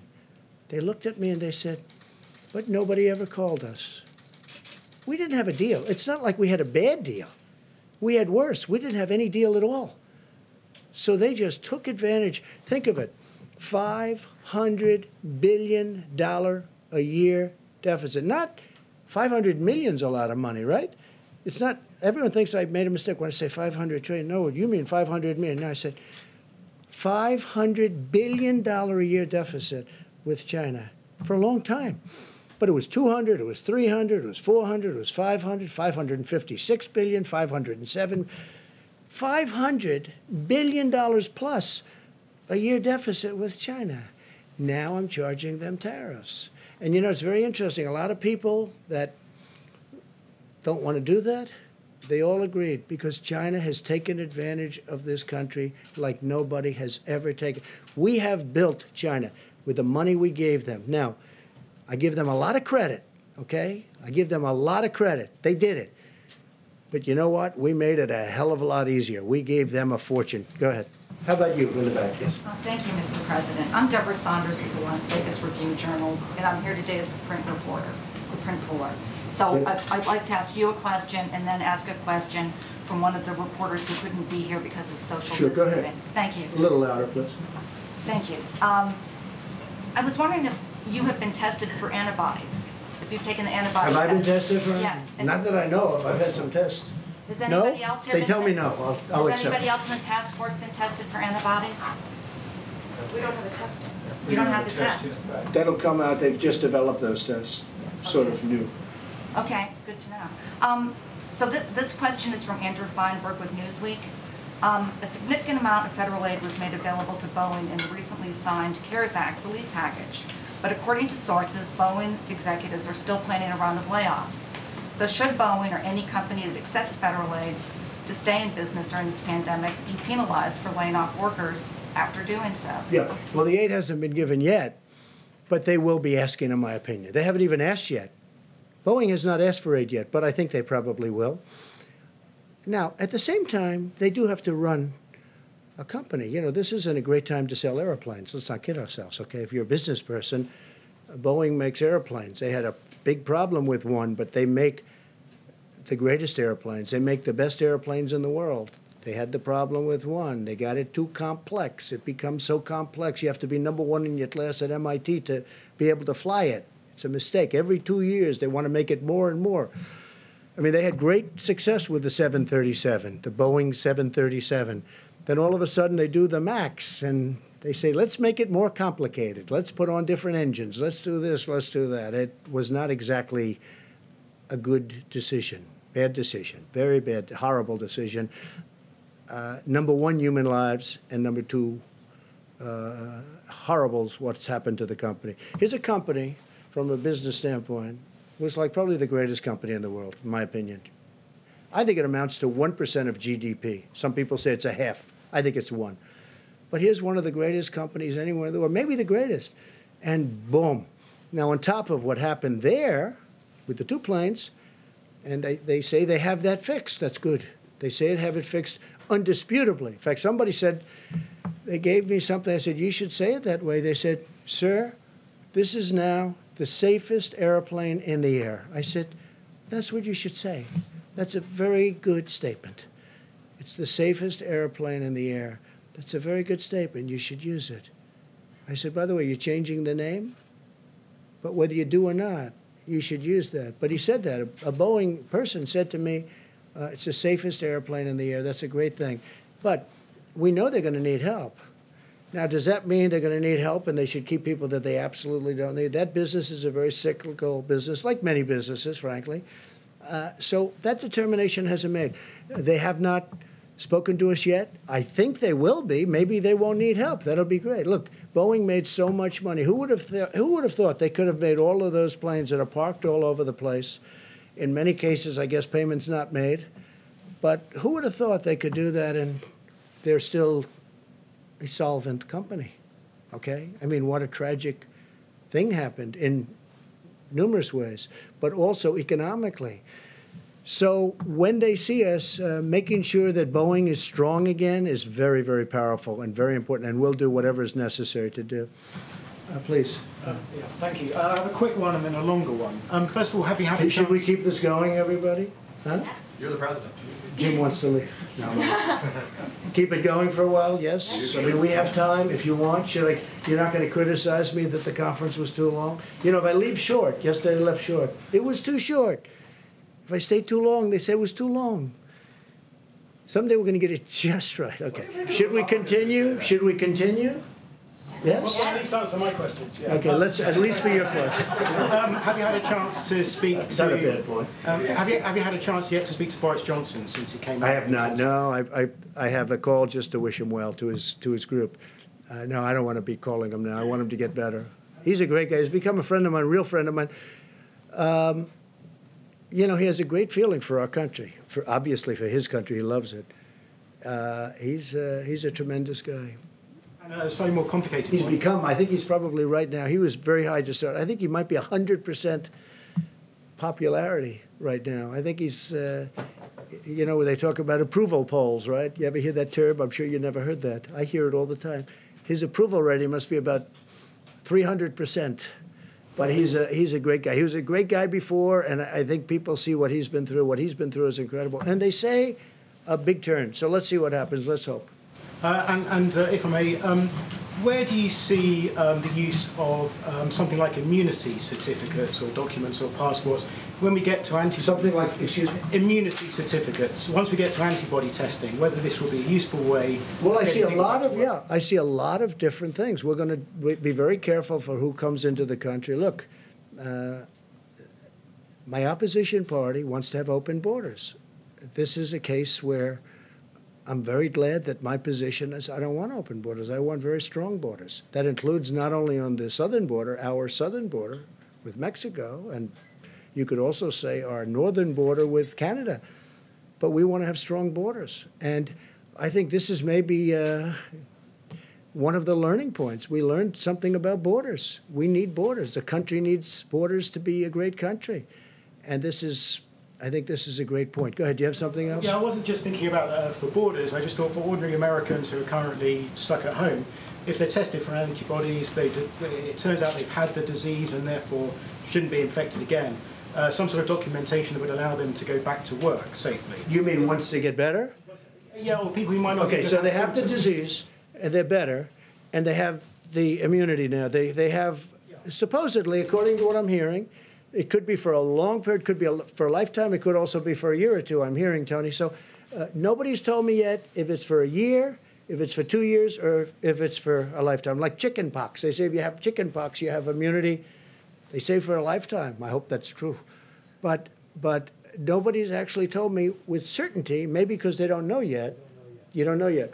Because it's new. You know, this came upon us. Nobody knew. We just, we just, they do know you have it for a period of time. And it's strong for a period of time. They don't know. And that's hence the antibodies that we're making. Uh, I saw somebody who was really sick and he got better. A young person, relatively young person, 35, and uh, physically fit, you know, and he, he got better. He made it, barely, but he made it. His first thing that he did when he was better is, I want to give, I want to give whatever I can give to help other people because nobody should go through it. It's a tough, it's a tough thing. So we don't know yet how long. If you'd like to add anything to that, but we don't know yet. If is it a year? It will be a year, but is it more than a year? And only time is going to tell. Okay. Thank you. One more question. Go ahead. Try one more.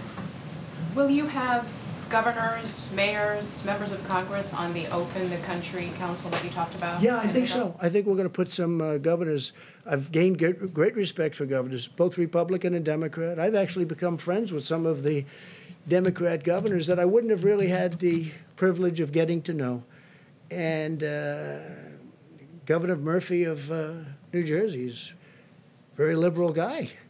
I'm not, but we've had a great relationship. Uh, John Bell, as you know, I call him John Bell, but John Bell Edwards, people call him John Bell, sort of a cool name. Uh, from Louisiana, I, I have a very good relationship with him. Uh, Gavin Newsom, honestly, I, I think uh, we've on every. Hey, we're fighting right now. I want automobiles to be made cheaper and safer and stronger, and but you save three, four thousand dollars per auto, and environmentally equal, or better maybe. And we're fighting on that. We're fighting a lot of different things. We fight on the border. He wants open borders. I want I want people to come into our country illegally. But I've gotten very friendly with Gavin Newsom. He's done a very good job here. Uh, I think I've gotten very friendly. I mean, he's been, I think, sort of a friend of mine for a long time. Don't get to see him much, but Governor Cuomo of New York would, would talk all the time. I told you, I spoke to him literally the last call just before walking in here. Uh, I've gotten to, I've really developed a lot of good friendships with the governors, and including the governors. Uh, I think Mike DeWine, Republican, but I think he's done a great job in Ohio. So yeah, I want to put on uh, both parties. I want to have some governors. I'm not going to have all of the governors, but I'd like to put some representative governors on the council. Yes, I would like to do that. Any to serve? Yes. I have. I've asked a couple of them. They've all said yes. So far, everyone said yes. I think everybody would like to be on that council. That's a very important council. I'll Go ahead in the back. You haven't gone yet. Thank you, Mr. President. Two questions, if I may. Uh, do you have a message to those pastors who are still planning to have Easter services, defying the public health guidelines? Well, so you're going to have to say it louder. To those what? To those pastors who are still planning to have Easter services in person. Pastors who Oh, are the pastors. I didn't understand your word. Okay. You have a very nice voice, but it's a little bit low, and you're far back. Uh, I've had talks with the pastors, and most of the pastors agree. And it's a very complex subject. Let's face it. You know, for the obvious reasons, I don't have to go into it. Most of the pastors agree that they are better off doing what they're doing, which is distancing. Uh, they feel that let's get this over with, and they want to get back to church so badly. I mean, can you imagine we have Easter Sunday, and I'm going to be watching uh, Pastor Robert Jeffress, who's been a great guy. Did I tell you? He's been a great guy, and I'm going to be watching on a laptop. Now, a laptop is not the same as being in his church or being in another church. It's not. No matter what you say, you know, we can say, "Oh, isn't it wonderful?" Uh, but I've uh, done this for three weeks, and they've had tremendous. I let people know who it is. They've had the biggest audiences they've ever had. They have millions of people now watching, and people are really liking what they're hearing. So I'm going to be with uh, on Easter, Pastor. I don't even know if he knows it yet, but he will soon. I think he will in about two minutes. Uh, Pastor Robert Jeffress, and he's a terrific guy, a terrific man. I've gotten to know him very well. He's a man of great compassion. He loves our country, and I'm going to be with him on Easter. Meaning, I'm going to be with him uh, watching on a laptop. Doesn't sound good, but it's you know it's one of those things. It cannot be church. You know, I'm not going to get into it. It cannot be church. Uh, most pastors and most people, you know, of faith, people that we listen to and respect and admire. Uh, Franklin Graham is a person I have great respect for. Most people will, and who's done an incredible job in New York on Central Park, where they put up Samaritan's Purse. He's done an incredible job. The son of the late great Billy Graham. His family is incredible. He's incredible. Franklin Graham, the job he's doing on, I mean, he loves to do it. He, he has such a passion, and that's why he's so good at it. He does it with, with incredible love. And uh, he will tell you, we- we're all saying we've got to get our country cured. I know there are some uh, pastors and ministers and others that want to get together. I would, and I have great respect for them. Two of them I know. But I would say first, heal. I'm a Christian. Heal our country. Let's get healed before we do this. And there's time to do that, we'll do it for hopefully the rest of our lives. Uh, please. Thank you. Um, the Mercy and the Comfort seem to be underutilized at the Yeah, moment in yeah. Los Angeles and New York. Uh, is there any consideration either to sending the medical units into the cities to, to help Yes. the hospitals there, or to moving the hospital ships? So the Mercy and the Comfort uh, were sent when projections were much higher. And I say, Tony backed it up. Deborah made the statement. They said, you're not going to need these many rooms. But we wanted to be prepared. I mean, you know, we had the ship. They did an incredible job. With the, the Comfort was supposed to be in maintenance for a period of uh, four weeks, and they had it done in three and a half, four days. And it came up and so we had it there. If there was a, a, a disaster from the standpoint of you needed all of the, now, I tell you, the Javits Center, uh, Andrew will tell you, we were ready to go. It's incredible the job they did. But they're they're using less beds. This is a good thing, not a bad thing. They're using less beds. Now Javits has been pretty busy over the last couple of days, and the death numbers are horrific. But you go back now, and you're finding they're going to start to come down very substantially, just based on the fact that the bed usage, the number of beds, are much, much less, much, much less. So the mercy and the comfort were there in case they needed them. Uh, Los Angeles, where you have the one, and New York, where you have the other, they just don't. Uh, fortunately, we haven't hit numbers where they would have. They would have been used. They're always going to be sort of overflow because they're on the edges. You know, they're they're not as convenient as certain places, but uh, the the people were ready, willing, and able. They were ready to go. They were going to do a great job. But fortunately, we don't need, just like we didn't need as many ventilators. Uh, when they were asking in New York for 40,000 ventilators, I had experts, these people, I listened to them. They said, You'll never need that many. And they were right. And New York now has its, and I dealt really well with Mayor de Blasio. We got him a lot of ventilators. We got Andrew a lot of ventilators. But we never felt you needed the numbers that you were talking about, and we were right on that. Now, with all of that being said, we have a lot of ventilators ready to go. We have almost 10,000 in the stockpile. That 10,000 can move rapidly. We can be within 24 hours almost anywhere. Uh, and hopefully we're not going to have to be, but it's just, it's really, this has been a great military operation. It hasn't all been military because we're dealing with great companies. We have companies that are making masks, and we're all set up on the mask too. I just told you we have an order coming in soon 500 million masks. 500 million. We have companies, you know the story with GM or 3M, also GM, but 3M is doing a great job. I spoke to the CEO the other day. We settled it out. We had a dispute with them, and it's now all settled. And I think they're trying to show the country something, maybe me, but the country something. So uh, we've done, you know, I think, uh, and, and, not me, I'm not, not talking about this country, our country, the people that are doing it, Army Corps of Engineers, FEMA, these people sitting right here, people that we have in the back uh, that are watching every word that we're saying, uh, they've done a fantastic job. They really have done a fantastic job. Please. Thank you, Mr. President. Uh, I wanted to ask you a question about testing. You've mentioned the impossibility of testing the entire American public. So has well, what do we have? The so, Surgeon General. Hold on. Hold on. Um, what do we have? 350 million people. You're going to do 300? That's not what I'm getting at. What I'm getting at is priorities. And Dr. Birx has mentioned how there have been priorities in certain regional parts of the country. And I wanted to ask you specifically about one industry in particular and that's food processing plants. Is there a priority to get testing at food processing plants all across the country? Well, you're asking that because of what happened. It's a fair question, too.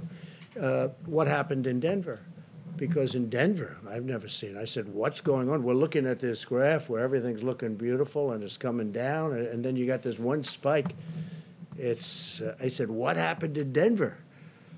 And uh, many people, uh, very quickly, and they, by the way, they were on it like so fast you wouldn't believe it. They knew every aspect. They had people going, not only testing, who did you see, where were you, how many people did you meet, were you out to dinner in somebody else's home, where were you, where did where did this number of people come from? How did they are totally on it. Now this just happened. I just saw it this morning. I'm looking at everything smooth going down, topping out. Then you have this one spike in Denver. It's like where did this come from? Uh, so we'll be looking at that, and, and we don't want cases like that happening. This was, but this this is the kind of thing can happen. This is very complex. This is a very brilliant enemy. You know, it's a brilliant enemy. They develop uh, drugs like the antibiotics. You see it. Antibiotics used to solve every problem. Now, one of the biggest problems the world has is the germ has gotten so brilliant that the antibiotic can't keep up with it and they're constantly trying to come up with a new. People go to a hospital and they catch, they go for a heart operation. That's no problem, but they end up dying from, from problems. You know the problems I'm talking about. Uh, there's a whole genius to it. We're fighting. Not only is it hidden, but it's very smart. Okay, it's invisible, and it's hidden, but it's it's very smart, and you see that in a case like a Denver. But I, you know, I think we're doing well, and, and they're on Denver like you wouldn't believe. I came in this morning; it was a flurry. I said, "What's going on?" They said, "Denver." I said, "What happened at Denver?" Because Denver was doing pretty well, and uh, they've got that under control. But yeah, that would be a case where you do some very big testing. Peter. Mr. President, we learned that more than 16 million Americans filed for unemployment over the past three weeks. It's Good Friday. It's payday. We are seeing troubling, paralyzing lines at food banks around the country. What do you say to those Americans in need right this moment? Uh, number one, I love them. Number two, we're working really hard. Uh, it wasn't their fault what happened. Uh, sometimes they don't do a good job and they lose their job. That's one thing. This is a case where we take the strongest economy in the history of the world, which is what we had. More people working in the United States, Peter, than ever before. Almost, I mean, look at the numbers 160 million people, almost, just short of 160. Excuse me. So we have the greatest economy we've ever had. And by the way, uh, black unemployment, Hispanic unemployment, Asian unemployment, the best numbers we've ever had in virtually every way. And then you get hit like this. And it's traumatic. People that had great jobs, that went out to dinner and they didn't have any problems, they take their family, they were making good salaries, all of a sudden, you know, you use the term cold turkey. It's cold turkey. They go from that to having no money and waiting for their checks, which are being processed very rapidly, but they still they have to go out and look for money. it's a terrible thing. All I say is we love them. We're working so hard, and they're going to be back. And I hope they're going to be back even stronger than before. Let me ask you about that if I can, just to follow up then. You, you chose not to do a national stay at home order. Now that you say you want to reopen parts of the economy, what authority do you have to do that? Isn't it ultimately up to the states to yeah. do that? Yeah, no, it's really the states can do things if they want. I can override it if I want, but the national stay at home. Just so you understand, 95 percent of the country is stay at home. Like as an example, I was speaking with the great governor of Texas, Greg Abbott, the other day. Uh, he has a stay at home. A lot of people didn't even know it but he had a stay at home. Some people reported Texas wasn't. He had a very strong, actually, a very strong stay at home. Uh, 95 to 96 percent, South Carolina, as you know, has it, which at one point, a week ago, they didn't have South Carolina. Another great governor, McMaster. Um, no, uh, 95 percent of the country is covered. Now, the states that aren't, and again, constitutionally, from a federalist standpoint, if I thought there was a problem, if I saw a state with a problem, I would absolutely demand it. But they're doing great. And the states that aren't are states that have not had a big problem. Well, what authority do you have to reopen right now? The same way that it's up to the states to shut it down, it's yeah. up to them to reopen. I have, I have, have great authority if I want to use it. I would rather have the states use it. I would rather, and this is so shocking for me. A lot of people are saying, wow, he's really very reasoned, isn't he? A lot of people are shocked. They think I'd do it. I have absolute authority to use it. But so far, our relationship with governors and the job they're doing, I haven't had to do it. Would I do it if I saw a state that was out of control and they didn't have the stay at home policy? I would do it in a heartbeat. Jeff? Mr. President, there's obviously a lot of interest in how you're going to make that decision. What? Yeah. What? That's a very big decision. What? I don't know that I've had a bigger decision than that when you think, right? I would think. think. I mean, think of that decision. Somebody said it's totally up to the president. I saw this morning. It's totally up, and it is. I don't know that I've had a bigger decision, but I'm going to surround myself with the greatest minds. Uh, not only the greatest minds, but the greatest minds in numerous different businesses, including the business of politics and reason.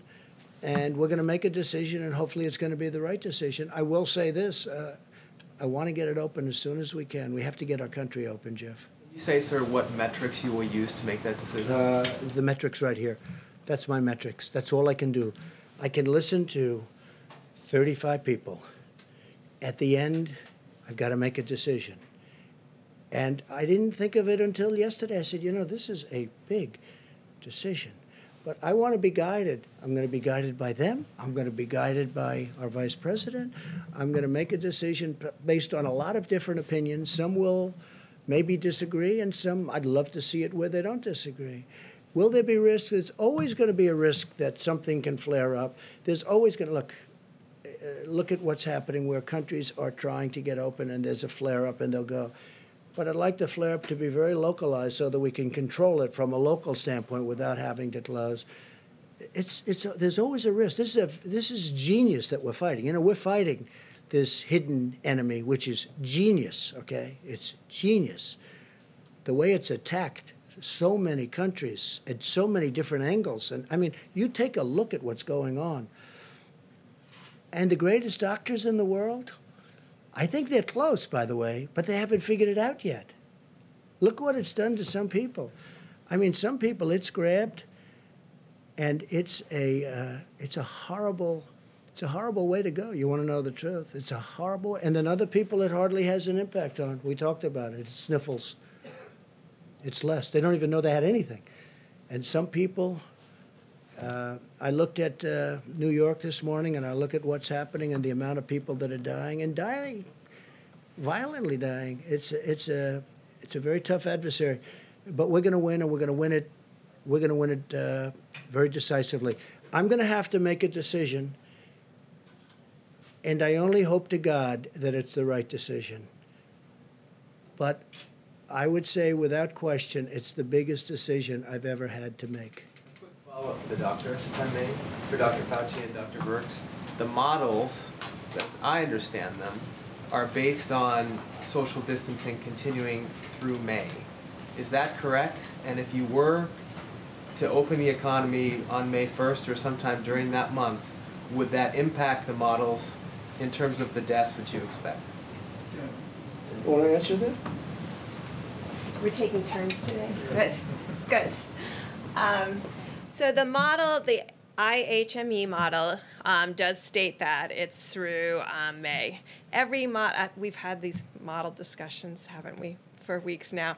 So the models are informed by the data, and you can see how much that model has shifted on the amazing work of the American people. So I think that's what we're evaluating right now. Remember when, when I talked yesterday, um, I've been in public health a long time. I have never, except for Ebola, where we worked very closely with the communities about specific issues, we've never taken a countrywide or a global wide approach to mitigation. This is unprecedented. Um, I will tell you there is nothing in the literature about specifically what to expect, and I think that's why the models continue to modify themselves based on what actually has happened with social distancing and hand washing and all of the pieces that the American people are doing the decreasing, the closing of the bars, the closing of the restaurants, no communal eating. That was thought to be a very big issue um, in many of the other cultures that went through this virus. So the models continue to evolve based on the impact. And so, therefore, it makes it very difficult to interpret each component of social distancing and which ones are absolutely critical. Now, there's a way to do that in multivariate analysis potentially. Now, I want to, I want everyone to understand there are states that are testing. There are states that are doing contact tracing. So, I mean, I think sometimes we get you know, we look at what New York is doing and Detroit, and we forget that there's a Utah and a New Mexico and a North and South Dakota and a whole series of states that have been doing testing and contact tra tracing and have been testing at rates higher than that per capita rate that we all have discussed. So we're looking at that. What did they do? Where are the most vulnerabilities? Where are the outbreaks most likely to occur? And that's why I've been talking about nursing homes because we do believe that there's a relationship between age and seriousness of disease. Not to say that there can't be young people with serious disease, but proportionally, it's a smaller piece with serious disease. And so when you have that kind of spectrum where the older and the more complicated, the higher the severity, you get the impression that there may be more asymptomatic in younger age groups, and that's where the antibody test comes in. So when you put all these pieces together, you're trying to understand where's where would be the first signals. So we have surveillance out there right now with the CDC's influenza-like illness. I hope you're all tracking that. It is showing these small changes. I think we can believe in that as a surveillance tool married with their syndromic piece, giving us the insight about where to test and then where to proactively test and nursing homes and other vulnerable groups because that has been the signal in a series of the states that have very, very low prevalence and incidence of disease. So that's the kind of factors we're putting all together to really define the best way forward. And we have superb roadmaps. I hope you all have seen them. There's been about six different roadmaps to opening that people have put online. And again, there's no literature that you can cite and said, well, we did this 20 years ago and what really worked. There's, there isn't that. There's brilliant public health people giving us their insights. Core of the question is, because those are the models you've been using, if you do go with opening up, starting to open up the economy again on May 1st, doesn't that lead to more deaths? Well, look at how much it changed with mitigation. And now we're looking at those state by state, and there's some states in there that are still in contact tracing. So we're looking at the impact of that model and what that model predicted based on the type of contact tracing, less mitigation, more contact tracing. Do- uh, Are we, are you getting what I'm talking about? Okay, so there are states that didn't stay at home orders, but we're doing contract tra- contact tracing um, from outbreaks. So we're looking at them and how they have done, and we're looking at certainly what's happened in the big metro areas. And we're integrating all of that data together to make a plan going forward. So I can't tell you, because look at how much the model has changed in just a week. Remember, just a week ago, it was 80,000. Now it's 60,000. So, and the curves, I'm sure you're all watching it, the curves are getting much broader confidence intervals. There, there is still the dotted line, but the confidence intervals around the dotted line are getting bigger. When you see that, you know the model has a bit of instability. And so that's why Tony and I base a lot of our decision and discussion on cases and what physically is happening in that county and that state. At the same time, not ignoring the models, but integrating the models as one p- piece of our thought process. Do you want to come up here and say what you think about models? Okay. Dr. Birx, can you update something? I, I just, I just want to say that, you know, you talked about, uh, couldn't it lead to death? Meaning, you open up, could lead to death, and you're right. But you know what? Staying at home leads to death also. And it's very traumatic for this country. Uh, but staying at home, if you look at numbers, that leads to a different kind of death, perhaps, but it leads to death also. So it's a very big decision. As I say, it's the biggest decision I'll ever make. All right, we'll do a couple of more we'll go. Thank you. Thank you, Mr. President. Um, Before you came out here, you said one of the last people that you talked to was Governor Cuomo. Yes. And at his news conference today, he said that he was asking you to use the Defense Production Act to require companies to make more tests, to streamline testing. Is that something that you would consider because you've considered it with ventilators? Well, you know, the other side seems to keep using that, and I have used it. You know, I've enacted it, you do know, and I've used it. Some people thought viciously. Just ask a couple of companies. If you want, you can just look up the names. And uh, I'm surprised that he would have said that. We actually have uh, great tests. We have others under development. Uh, you don't need full testing, as uh, the doctors have been talking about ad nauseum. Uh, so I would be surprised that he would have said that, meaning it that way. If he, if he did, I'd have a much different type answer. Go ahead. Didn't talk about it over the phone. We talked about testing. Yeah, we did talk about testing. And one of the things I did was I put the two doctors in charge of that call. I said, you know what, Andrew? I have two very talented people standing here. We're getting ready to go on. Let me put them and let me have them talk to you. And they talked to him uh, really at length. And I think by the time they finished, he understood what he was, what we were saying. He understood it very clearly. Okay. Okay. One more question, Yeah. please.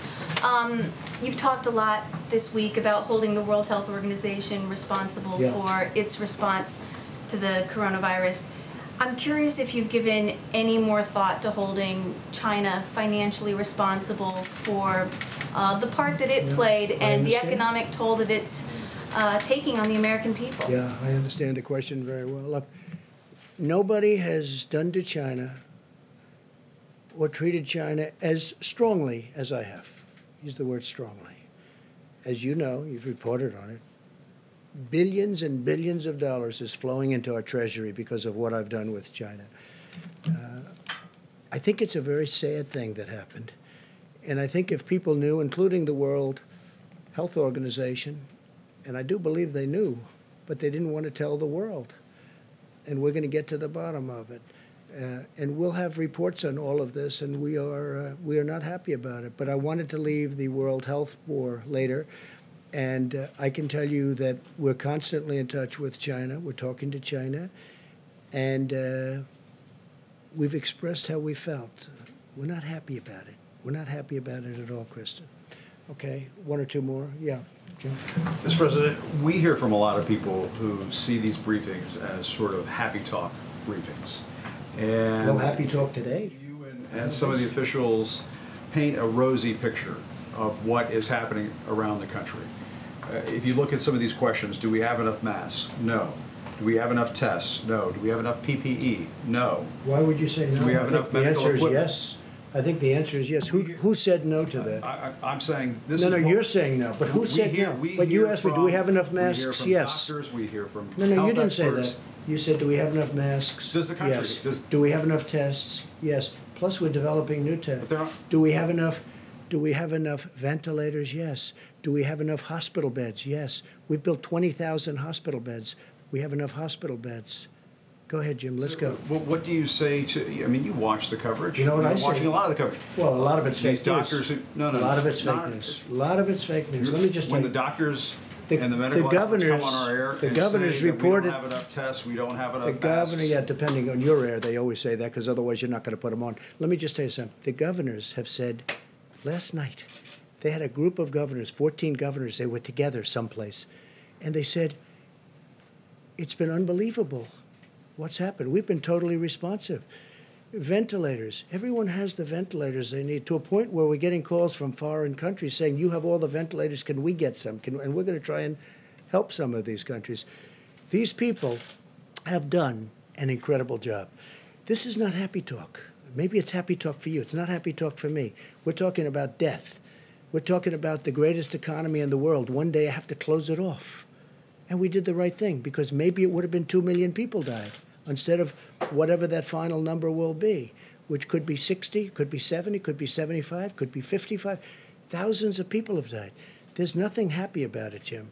This is sad talk. This is the saddest, these are the saddest, these are the saddest news conferences that I've ever had. I don't like doing them. You know why? Because I'm talking about death. I'm talking about taking the greatest economy ever created. We had the greatest numbers we've ever had in almost every aspect of, of economics, from employment to companies. Do, look at the airlines; they were having the best year. Now all of a sudden we have to save them. Okay, there's no happy talk, Jim. This is the real deal, and I've got to make the biggest decision of my life. And I've only started thinking about that. I mean, you know, I've made a lot of big decisions over my life. You understand that. This is by far the biggest decision of my life because I have to say, okay, let's go. This is what we're going to do. When you have hospital administrators, Sure. But you have many doctors that say unbelievable job. I watched this morning and I watched a certain network and it wasn't Fox. And you had doctors saying that we've done an incredible job. You just read off these no, no, no. Well, we have ventilators, we have equipment, we have beds. How about beds?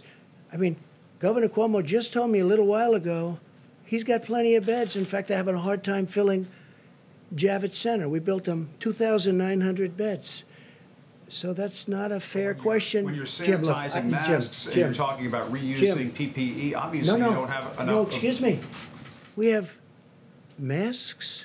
We have everything. And we were trying to get ready for the surge. And a lot of people said it will never happen. Deborah said it. You'll never need that many beds. They said we needed 40,000 ventilators. 40,000. It's like building a car. 40,000 ventilators. People said, I felt it too. You'll never need that many. Guess what?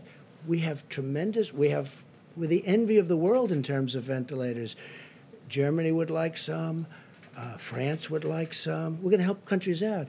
Uh, Spain needs them desperately. Italy needs them desperately. Mexico needs them desperately. He asked me last night, would it be possible to get 10,000 ventilators?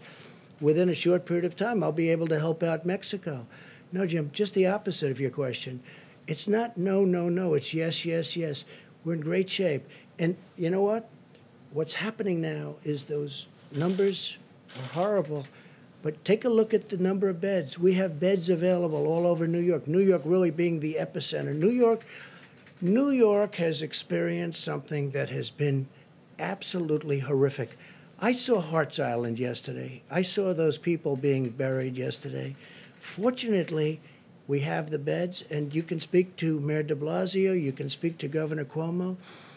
People are, people can't even believe the job we've done. They can't even believe it. And I give tremendous credit to the military. There's been a military operation with private people. Wait, wait a minute, wait, wait. I give tremendous credit to our military, to the Army Corps of Engineers, to FEMA, to these people. The job they've done is incredible. And you shouldn't be asking but that kind of a question. Jim, that honestly. the country been better Okay, look, I, I really don't believe you're that bad a guy. You shouldn't be asking that kind of a question. You should say, you know what? It's been really incredible what's been happening. Jim, nobody's asking. What governor, let me ask you this. What governor, we have more tests than anybody in the world. We have every, we have virtually every country in the world calling us, asking us, how do we get these tests that you have? Your testing is the best in the world. How do we get it? They've done a fantastic job. And when you ask a question like that, it's very insulting to a lot of great people. Okay, one more, please. Uh, please, go ahead. Thank you, Mr. President. You may have seen how Sweden has responded to the pandemic. The schools are open, bars and restaurants are open. Sweden's different. Do you do you regret not following that approach? Is that approach working? I think we could have have followed that approach. And if we did follow that approach, I think we might have 2 million people dead. And Sweden is having a lot of difficulty. Uh, You know, look, I'm very friendly with the leadership in Sweden. They took a different approach. They're a very disciplined country to start off with, but they did take a different. Uh, and, you know, other places tried it. UK tried it. The herd approach, okay? Herd. And they tried it. And you saw what happened in UK. It set them back a lot, a lot of time. It's been, you know, having a tough time. Uh, other countries have tried it. And Sweden is suffering greatly. I mean, Sweden's suffering greatly. If we did uh, the herd, if we went with the herd, as they say, uh, we would have had potentially, I mean, you see the, the charts. Nobody knows. Nobody will ever know, fortunately, because we're going to be substantially less than the minimum. I certainly hope, unless something happens that would be tragic. So they had a minimum number. If we did, if one of the reasons we're so far below that number is because nobody thought the American people could be so disciplined. Nobody thought it was possible. And I guess when they watched us up here every day and they watched other people and they listened to their representatives and governors, nobody thought that the American people could be so disciplined. They've been unbelievable. And because of that, so you have a minimum number of 100,000, and then you had the 2.2 number that if we did nothing, if we did just kept working, everybody go to work, people would be dropping dead on the subways. No. If we would have lost a million people, take the 2.2 million and cut it in half. Make it, cut it in more than half. Make it a million people, okay? Now take that number and cut it in half. Make it 500,000 people. That's if we did nothing, right? It's unacceptable. It's too many people. So we have we spent more money on stimulus. Who cares by comparison? You take 2.2, you cut it in half, you cut it in half, you cut it in half, you keep cutting it in half. I don't care what number you choose. 500,000, 400,000. Well, we're going to have, we were talking 50, 60, 65, maybe. Maybe. But if we would have done what one country tried, and it has been very tough for them, you know that, very, very nasty, very tough. But if we would have done that here, and again, you got to remember, UK tried it. And I was a little surprised, and I watched it. They were going about, what, two weeks, and they said, we got to stop because it was, they were going to have a whole country infected. So, with all of that being said, we got to get back to work. We got to get, we got to get our country open. But we could have lost two million people. We could have lost one million people. We could have lost a half a million people.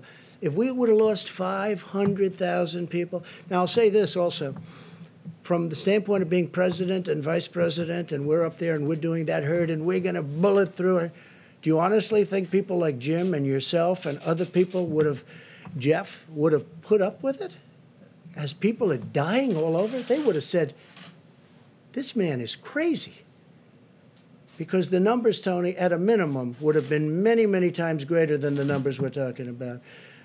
So I'm very honored by our decisions, all of us. We talk about it all the time. I said, You want to let him just, you just ride it. You just ride it right through. We would have lost potentially millions of people.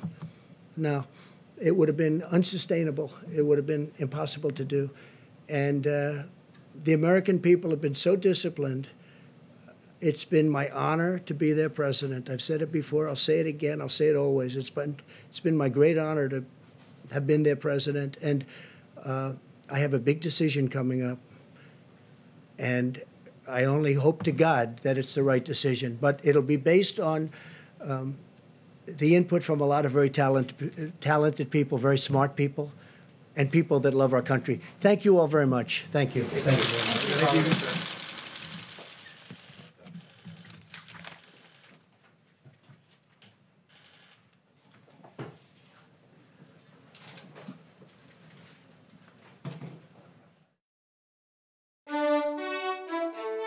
Tonight, a special evening edition of Washington Journal on the federal response to the coronavirus crisis.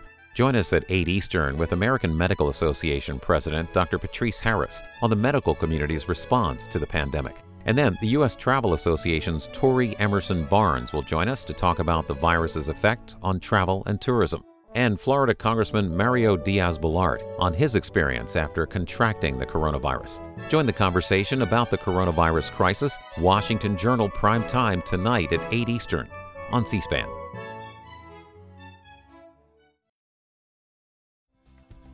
All month on C SPAN, we're featuring the winners of our Student Cam documentary competition. Middle and high school students created videos answering the question What issue do you most want the